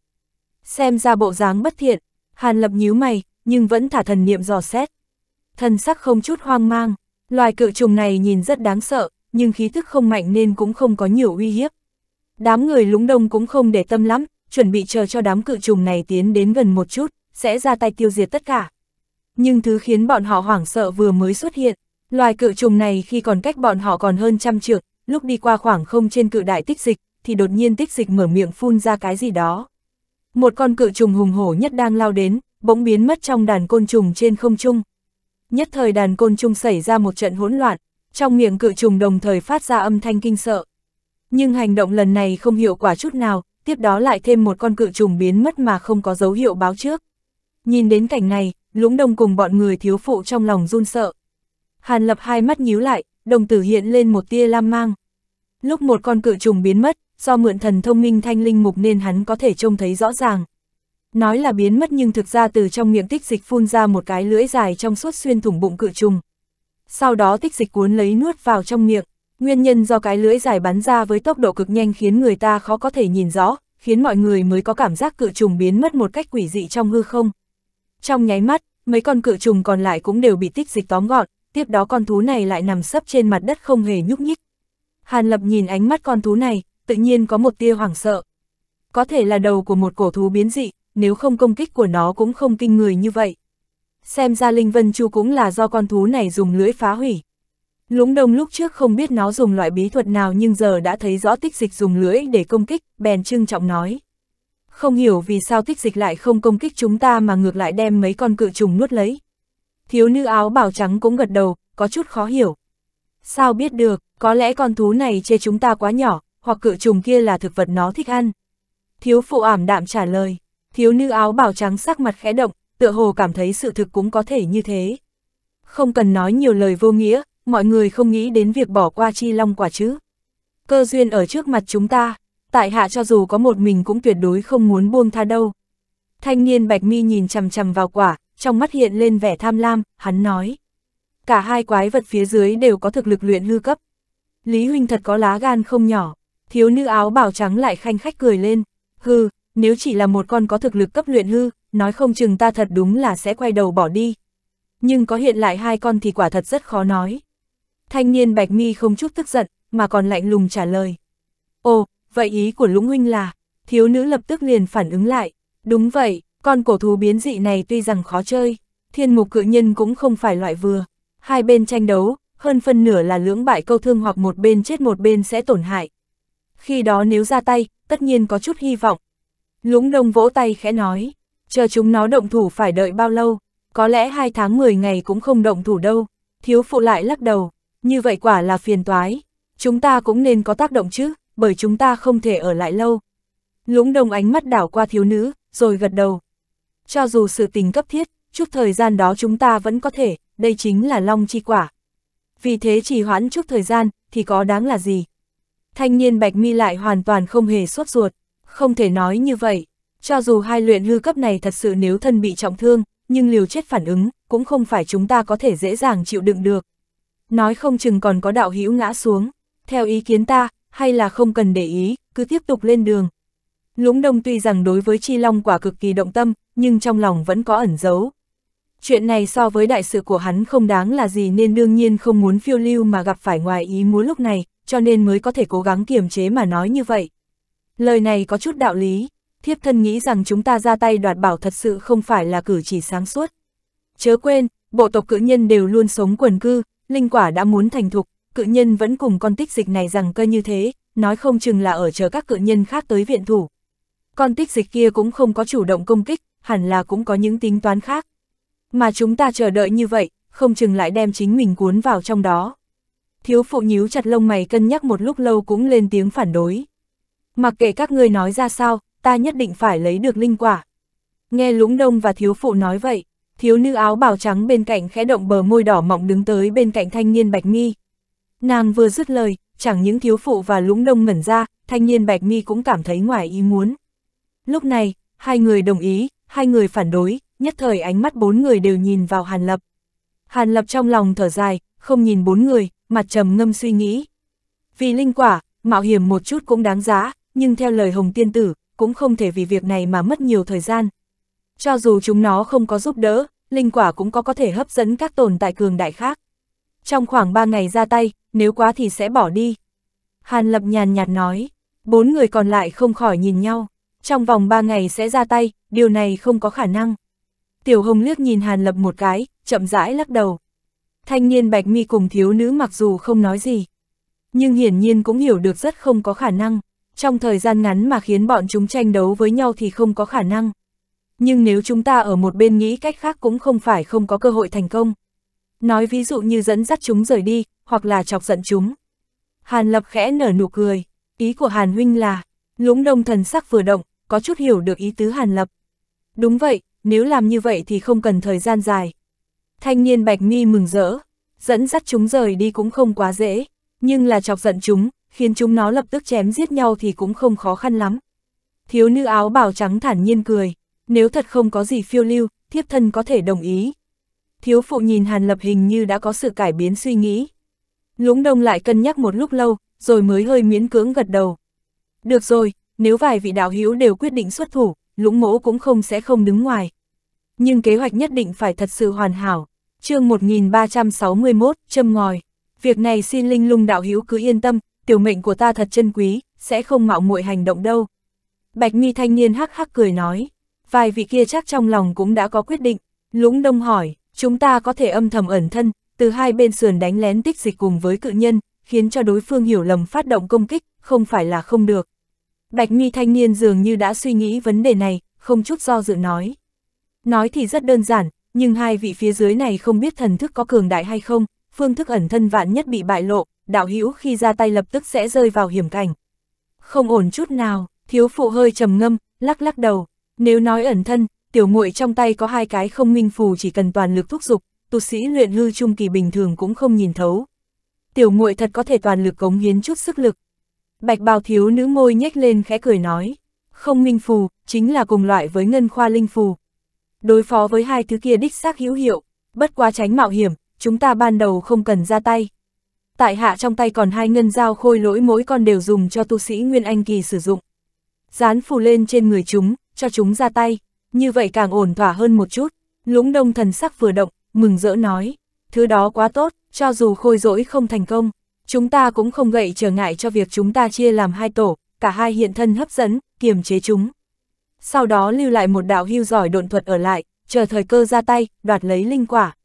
Chỉ cần đoạt linh quả tới tay, mọi người lập tức dùng bí thuật chạy trốn. Hai thứ kia dù thực lực có sánh ngang tu sĩ luyện hư kỳ, nhưng chúng ta một lòng muốn trốn. Có lẽ chúng khó có thể ngăn trở, nhưng mà người ra tay cướp linh quả, thân pháp phải nhanh nhẹn vô cùng. Nếu không lấy tốc độ phụt lưới của đầu biến dị tích dịch kia, khi chạy trốn sẽ vô cùng nguy hiểm. Tiểu hồng nhãn châu xoay chuyển, nói, tiểu tiên tử nói có lý, chính là ra tay đoạt linh quả nguy hiểm rất lớn, hơn nữa chúng ta cũng không biết được lòng hắn. Lỡ sau khi có được linh quả lại chạy mất, vậy phương pháp này khó có thể thực hiện, đích xác có chút sơ hở, không biết vị đạo hữu nào ở đây nguyện ý làm người cuối cùng ra tay. Sau khi lấy được linh quả, có thể phải cùng phải ngăn cản một kích. Đương nhiên, đạo hữu này cũng phải nói ra phương pháp khiến người ta yên tâm. Bạch bào thiếu nữ du khế nói, vừa nghe cô giá này nói, những người khác lộ vẻ cổ quái. Dường như theo lời cô gái này nói, vô luận ai là người hái xuyến long quả, chỉ sợ đều phải ngăn cản một kích của hai quái vật đang nổi giận. Nguy hiểm cỡ nào không cần phải nói, ai có thể yên tâm cho người khác cầm linh dược quý hiếm như thế chạy trốn chứ. Sự tình khó khăn cỡ này, thật làm cho người ta khó nghĩ. Chư vị đạo hữu nếu không chê, tại hạ nguyện ý làm người cuối cùng ra tay. Hàn Lập bỗng nhiên cười nói, Hàn đạo hữu người mới chỉ là tu vi hóa thần trung kỳ, bị phát hiện quá nguy hiểm. Lũng đông thần sắc vừa động, phản đối.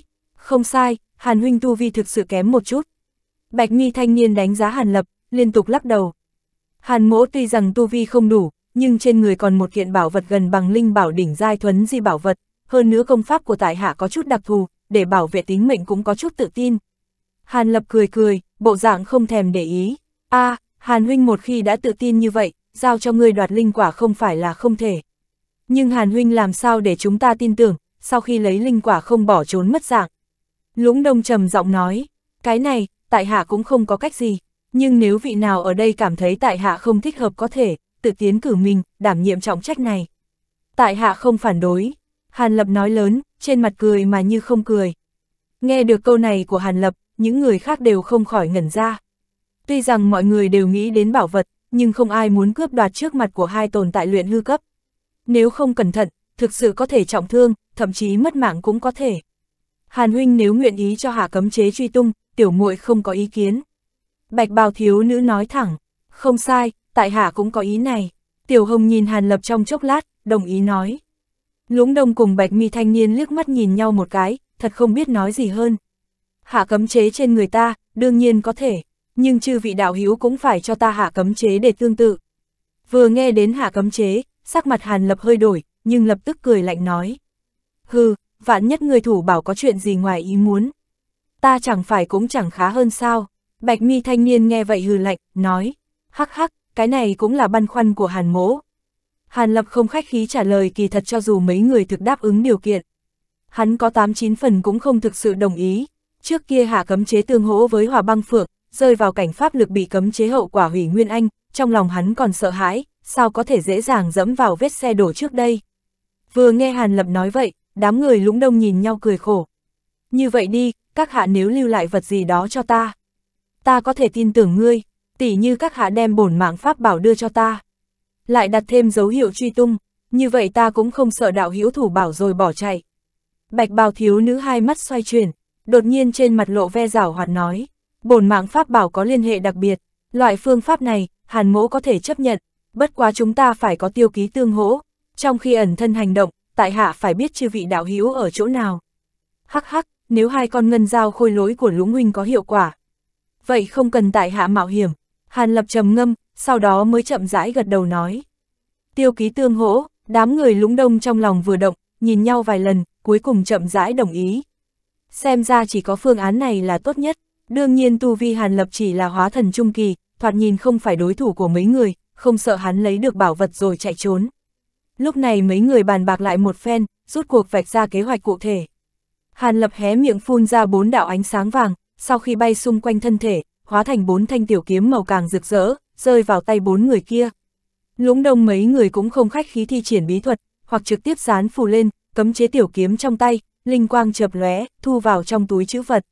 Sau đó bốn người lại phân biệt phun ra những điểm ánh sáng màu sắc khác nhau, chợt lóe lướt qua nhưng không có chạm vào thân thể Hàn Lập. Hàn Lập cẩn thận dùng thần thức kiểm tra những điểm ánh sáng này, đích xác là linh lực tinh thuần biến thành. Không chứa cấm chế gì khác, mới yên tâm cho chúng đi vào cơ thể. Sau đó Hàn Lập đồng dạng thi pháp, cũng thả ra một giải những điểm ánh sáng xanh vào thân thể bốn người kia. Xong đâu đấy, mấy người tâm tư đều thả lòng. tiếp đó lại nói nhỏ với nhau vài câu, bọn họ lập tức giải tán, hóa thành từng đạo độn quang bay nhanh ra bốn phương tám hướng. Hàn Lập biến thành một đạo ánh sáng xanh, uốn cong độn đi, xa ngoài ngàn dặm, sau đó độn quang mới chợt tắt hiện ra thân hình hắn. Hắn huyền phù giữa không trung, đảo mắt nhìn bốn phía. Liền nhẹ nhàng nhắm mắt đem thần thức chậm rãi thả ra. Gần đó không có gì dị thường, tự mình cũng không có cảm giác bị theo dõi, đôi mắt hắn đột nhiên yên tĩnh, hai tay bấm đốt niệm chú. Sau lưng nổ ra tiếng sấm, một đôi cánh màu lông xanh trắng hiện ra, tiếp đó lật tay, hé là một vật màu tím, phù trù. Thứ hiện ra kia chính là thái nhất hóa thanh phù, đạt bảo với hai tồn tại luyện hư, hắn cũng không dám có chút tự đại, tự nhiên rất phù trù này ra. Dán lên người, một đoàn ánh sáng tím cùng với phù văn màu bạc chập động, sau đó hàn lập bóng biến mất không thấy. Hắn hóa thành hư ảo sau đó theo đường cũ mà quay về. Tuy rằng tốc độ không quá nhanh, nhưng cũng không chậm, một lát sau hàn lập đã hiện ra ở chỗ cũ. Đầu tích dịch cực lớn kia vẫn rằng co với cự nhân chưa hề động thủ. Chỉ băng mắt thường, tự nhiên không phát giác ra nơi ẩn thân của mấy người kia.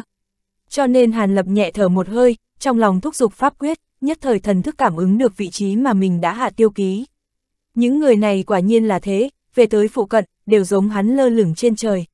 Hai người một thì trên đầu cự đại tích dịch, người kia ở phía sau thiên mục cự nhân. Mấy người khác chỗ ẩn nập cũng không tầm thường, không cảm ứng thấy tiêu ký thì thần thức hàn lập cũng vô pháp phát hiện ra cái gì khác biệt. Lũng đông nói hắn có hai con ngân dao khôi rỗi vậy mà cũng không phát hiện ra chút bóng dáng. Không biết là vì có không minh phù kia nên mới thần diệu như vậy, hay là còn chưa dùng tới. Gần đó vô cùng yên tĩnh, làm cho người ta có cảm giác sắp có rông bão nổi lên, cảm giác quỷ dị dài chừng thời gian ăn một bữa cơm, vẫn chưa có chút biến hóa. Hàn lập sắc mặt không đổi, nhưng trong lòng đã hết kiên nhẫn, tựa hồ sắp tới thời gian ước định. Đúng lúc này, cự đại tích dịch tựa hồ cảm thấy có chút không thoải mái, cự trào theo bản năng hơi nâng lên một chút, nhưng lập tức hạ xuống. Đúng lúc cự trào đã hạ xuống trong nháy mắt này, bỗng nhiên đống bùn đất phía dưới cự trào chợt lóe ngân quang, lập tức một chùn ánh sáng bạc bắn nhanh ra, thẳng đến thiên mục cự nhân đối diện. Thoạt nhìn, giống như cự đại tích dịch âm thầm cùng cự trảo của mình phát động công kích vậy. Cự nhân đang cầm bổng lớn ngẩn ra, lập tức vô cùng giận dữ giống lên một tiếng, bóng đen chợt lóe, cuồng phong gào thét, chỉ một cái tát đã khiến giải ánh sáng bạc công kích tới tan biến. Nhưng cơ hồ trong lúc đó, phía dưới bàn tay to lớn của cự nhân mơ hồ có chút gì lóe lên. Lập tức một đạo quang trụ màu bạc thô to từ hư không phun ra, tốc độ cực nhanh, trong nháy mắt lao đến cự đại tích dịch. Cự đại tích dịch hai mắt chớp chớp, trên đầu lóe lên hào quang, cũng phun ra một đạo quang trụ màu đỏ. Oanh một tiếng nổ, hai đóa quang trụ vừa tiếp xúc, thế nhưng cùng tan biến mất. Nhưng sau đó cự đại tích dịch phát ra một tiếng giống kinh thiên động địa, tứ chi dụng chút lực, vốn thân hình khổng lồ đang nằm trên mặt đất lập tức đứng lên. Miệng lớn mở ra, lộ ra cặp hàm đầy răng nanh lành lạnh. chương 1362, thưởng quả. Phía đội diện, cự nhân trên mặt lóe lên vẻ bạo ngược, một tay vừa động, đại bổng đen thùi trên vai nhất thời nắm trong tay, con mắt trên người hào quang đại phóng, bỗng nhiên chuyển động. Nhiều con mắt như vậy chuyển động trên thân thể, dù cho là ai thấy cũng phải nổi da gà. Hàn lập ở trên không trung thấy vậy, trong lòng vui vẻ, vội bế hô hấp. Chỉ cần hai quái vật này thực sự động thủ, vậy việc của bọn họ tự nhiên vô cùng dễ dàng. Phanh một tiếng, tích dịch hé miệng, một đạo ánh sáng đỏ phun ra, dưới một chảo thật lớn đánh xuống đất một đoàn ngân mang từ đó mà nổ tung ra. Xích ảnh vừa thu lại, một đồ vật cổ quái bị xuyên thủng thân thể từ trong lòng đất mà bị kéo, nặng nề rơi xuống mặt đất. Hàn lập dùng mình, ngưng thần nhìn lại, mới phát hiện đây là một con rối đầu dao thân người màu bạc. Chính là con rối này bị chiếc lưỡi dài khủng bố của cự đại tích dịch xuyên trúng bộ phận trung tâm, lúc này nửa non thân thể đã tự nổ, thành một đống phế liệu. Sme ra con rối này khi động thủ cước lúc trước, đã bại lộ, bị đầu cự đia tích dịch cai phát hiện liền hủy diệt.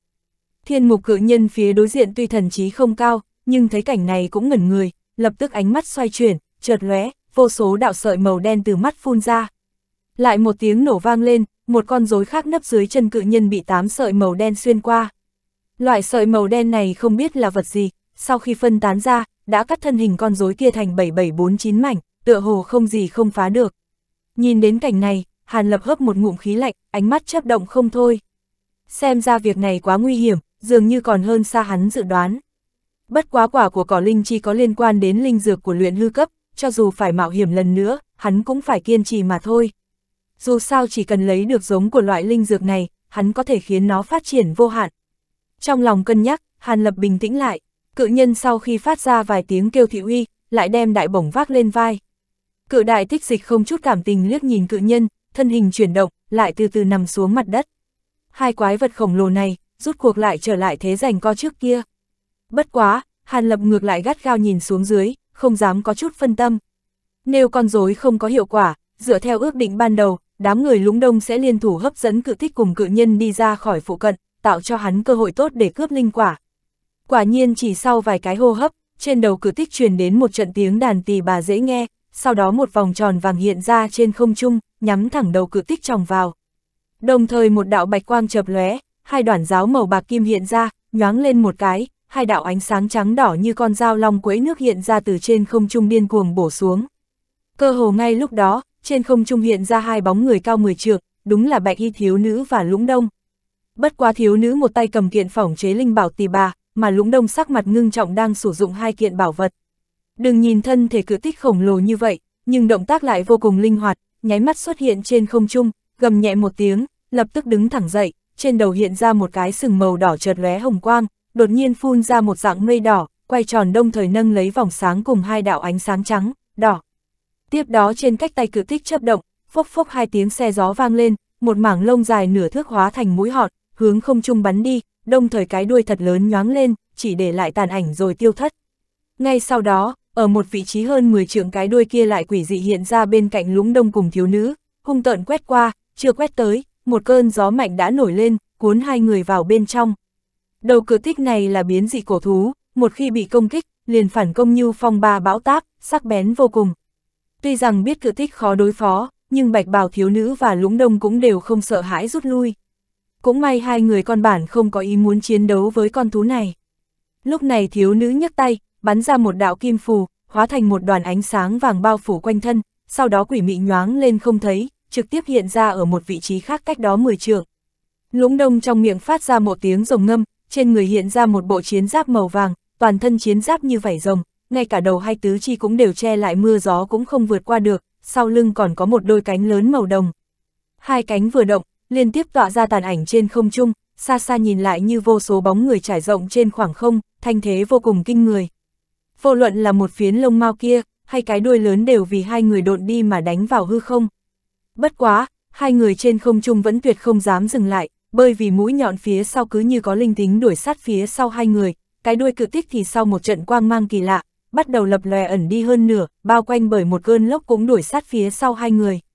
Trong lúc nhất thời, cự tích cùng hai người đuổi nhau vô cùng kịch liệt. Cự tích hơn nửa tâm thần đã bị hai người thu hút, nhưng vẫn còn nửa tâm trí theo dõi cự nhân đối diện, sợ đối phương thừa dịp này đoạt linh quả, nhưng vừa thấy cũng yên tâm vài phần. Vốn cự nhân vừa thấy cự tích cùng hai người động thủ trên không trung, trong nháy mắt trên không trung sau lưng cự nhân cũng hiện ra hai người. Một người hai tay trà sát, sau đó dương lên, nhất thời dày đặc hỏa cầu bay tới, một cai trực tiếp hướng bên này vươn tay, một bàn tay đen nhánh hiện ra trên đỉnh đầu cự nhân hung hăng vỗ xuống. Tiếng ầm vang oanh long vang lên, cự nhân dường như không có phản ứng lại, đã bị hỏa cầu đánh lên người, đồng thời bàn tay A lớn màu đen cũng chụp xuống giữa thiên linh cái. Thiếu phụ cùng bạch mi thanh niên đầu tiên là sửng sốt, sau đó lập tức vô cùng vui mừng. Nhưng một màn kế tiếp, lập tức khiến khuôn mặt tươi cười của hai người cứng ngắc. Bên trong đám lửa màu đen vang lên tiếng giống lớn của cự nhân, lập tức con mắt trên thân xoay tròn, nhất thời một cỗ lực lượng vô hình sinh ra, ngọn lửa đen này chạm vào thân thể cự nhân đều bị con mắt nhấp nháy hấp thu, biến mất không còn. Về phần bạch mi thanh niên dung thần thông biến ảo thành bàn tay lớn, dường như không gây chút tổn thương cho cự nhân. Cứ như thiên mục cự nhân căn bản không thèm để ý đến chiêu này, chỉ một tay đánh ngược lên, đã đánh tan bàn tay kia tan thành cho bụi. Thần thông lớn như vậy, tự nhiên khiến thiếu phụ cùng bạch mi thanh niên trong lòng trầm xuống. Bất quá công kích của bọn họ hiển nhiên đã chọc giận đầu quái vật khổng lồ này. Cự nhân khuôn mặt dữ tợn, gào lên một tiếng, ánh sáng bạc trên người họ hoàn toàn thu liếm, lập tức hướng hai người trên không trung nhìn qua. Quang mang màu nâu chấp động, sợi màu đen phun ra dày đặc, bao vây lấy hai người. Thiếu phụ và bạch mi thanh niên đều nhìn thấy sự lợi lại của đám sợi màu đen, vừa thấy cảnh này sắc mặt đại biến, nào dám để chúng tiếp xúc với thân thể mảy may. Lúc này một người lấy ra một vật ném xuống dưới thân, nhất thời hóa thành một con thoi màu xanh, thân hình loáng lên tiến vào bên trong, lập tức bắn nhanh mà ra. Người còn lại lập tức lăn sang một vòng, toàn thân biến thành màu đen hóa ra một con đại ưng khổng lồ, hai cánh mở ra, đồng dạng thuấn di bay ra. Hiển nhiên nhị yêu ngay từ đầu đã chỉ muốn dây dưa, không muốn đối cứng với cự nhân. Trong lúc nhát thời bốn người thiếu phụ đều điện cuồng thúc giục linh lực, chạy trốn khắp nơi dụ cự nhân cùng cự tích ra xa, hiểm tránh công kích của hai quái thú, thỉnh thoảng bâng quơ phản kích lại, khiến hai quái vật giống lên không ngừng.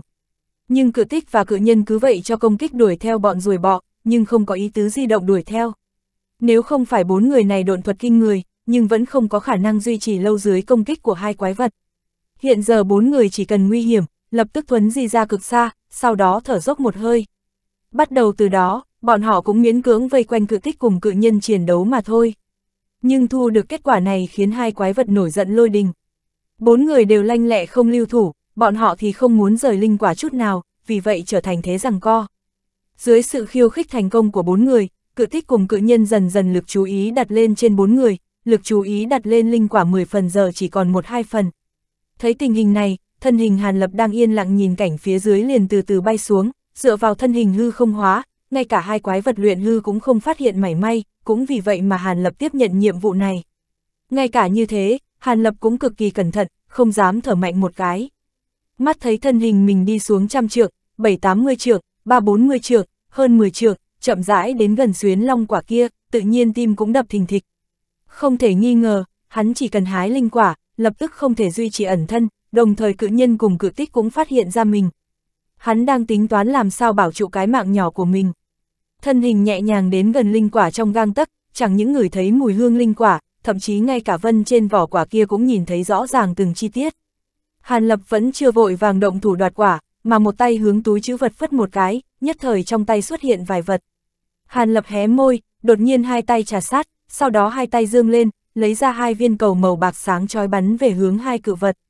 Tiếp đó nhanh như chớp vươn tay tóm về phía trước, linh quả xuyến long tiên diễm liền trong nháy mắt liền biến mất. Lập tức thân hình bại lộ, sau lưng hai cánh mở ra, tại đó tiếng sấm vang lên một trận. Hai tiếng giống kinh thiên động địa truyền tới, một đạo xích ảnh cùng một đám sợi màu đen cơ hồ cùng một lúc, lấy tốc độ khó tin bắn ra từ hư không, vài cái xuyên thủng thân thể Hàn Lập. Nhưng lập tức Hàn Lập tan rã rồi biến mất, thì ra chỉ là một đạo tàn ảnh mà thôi.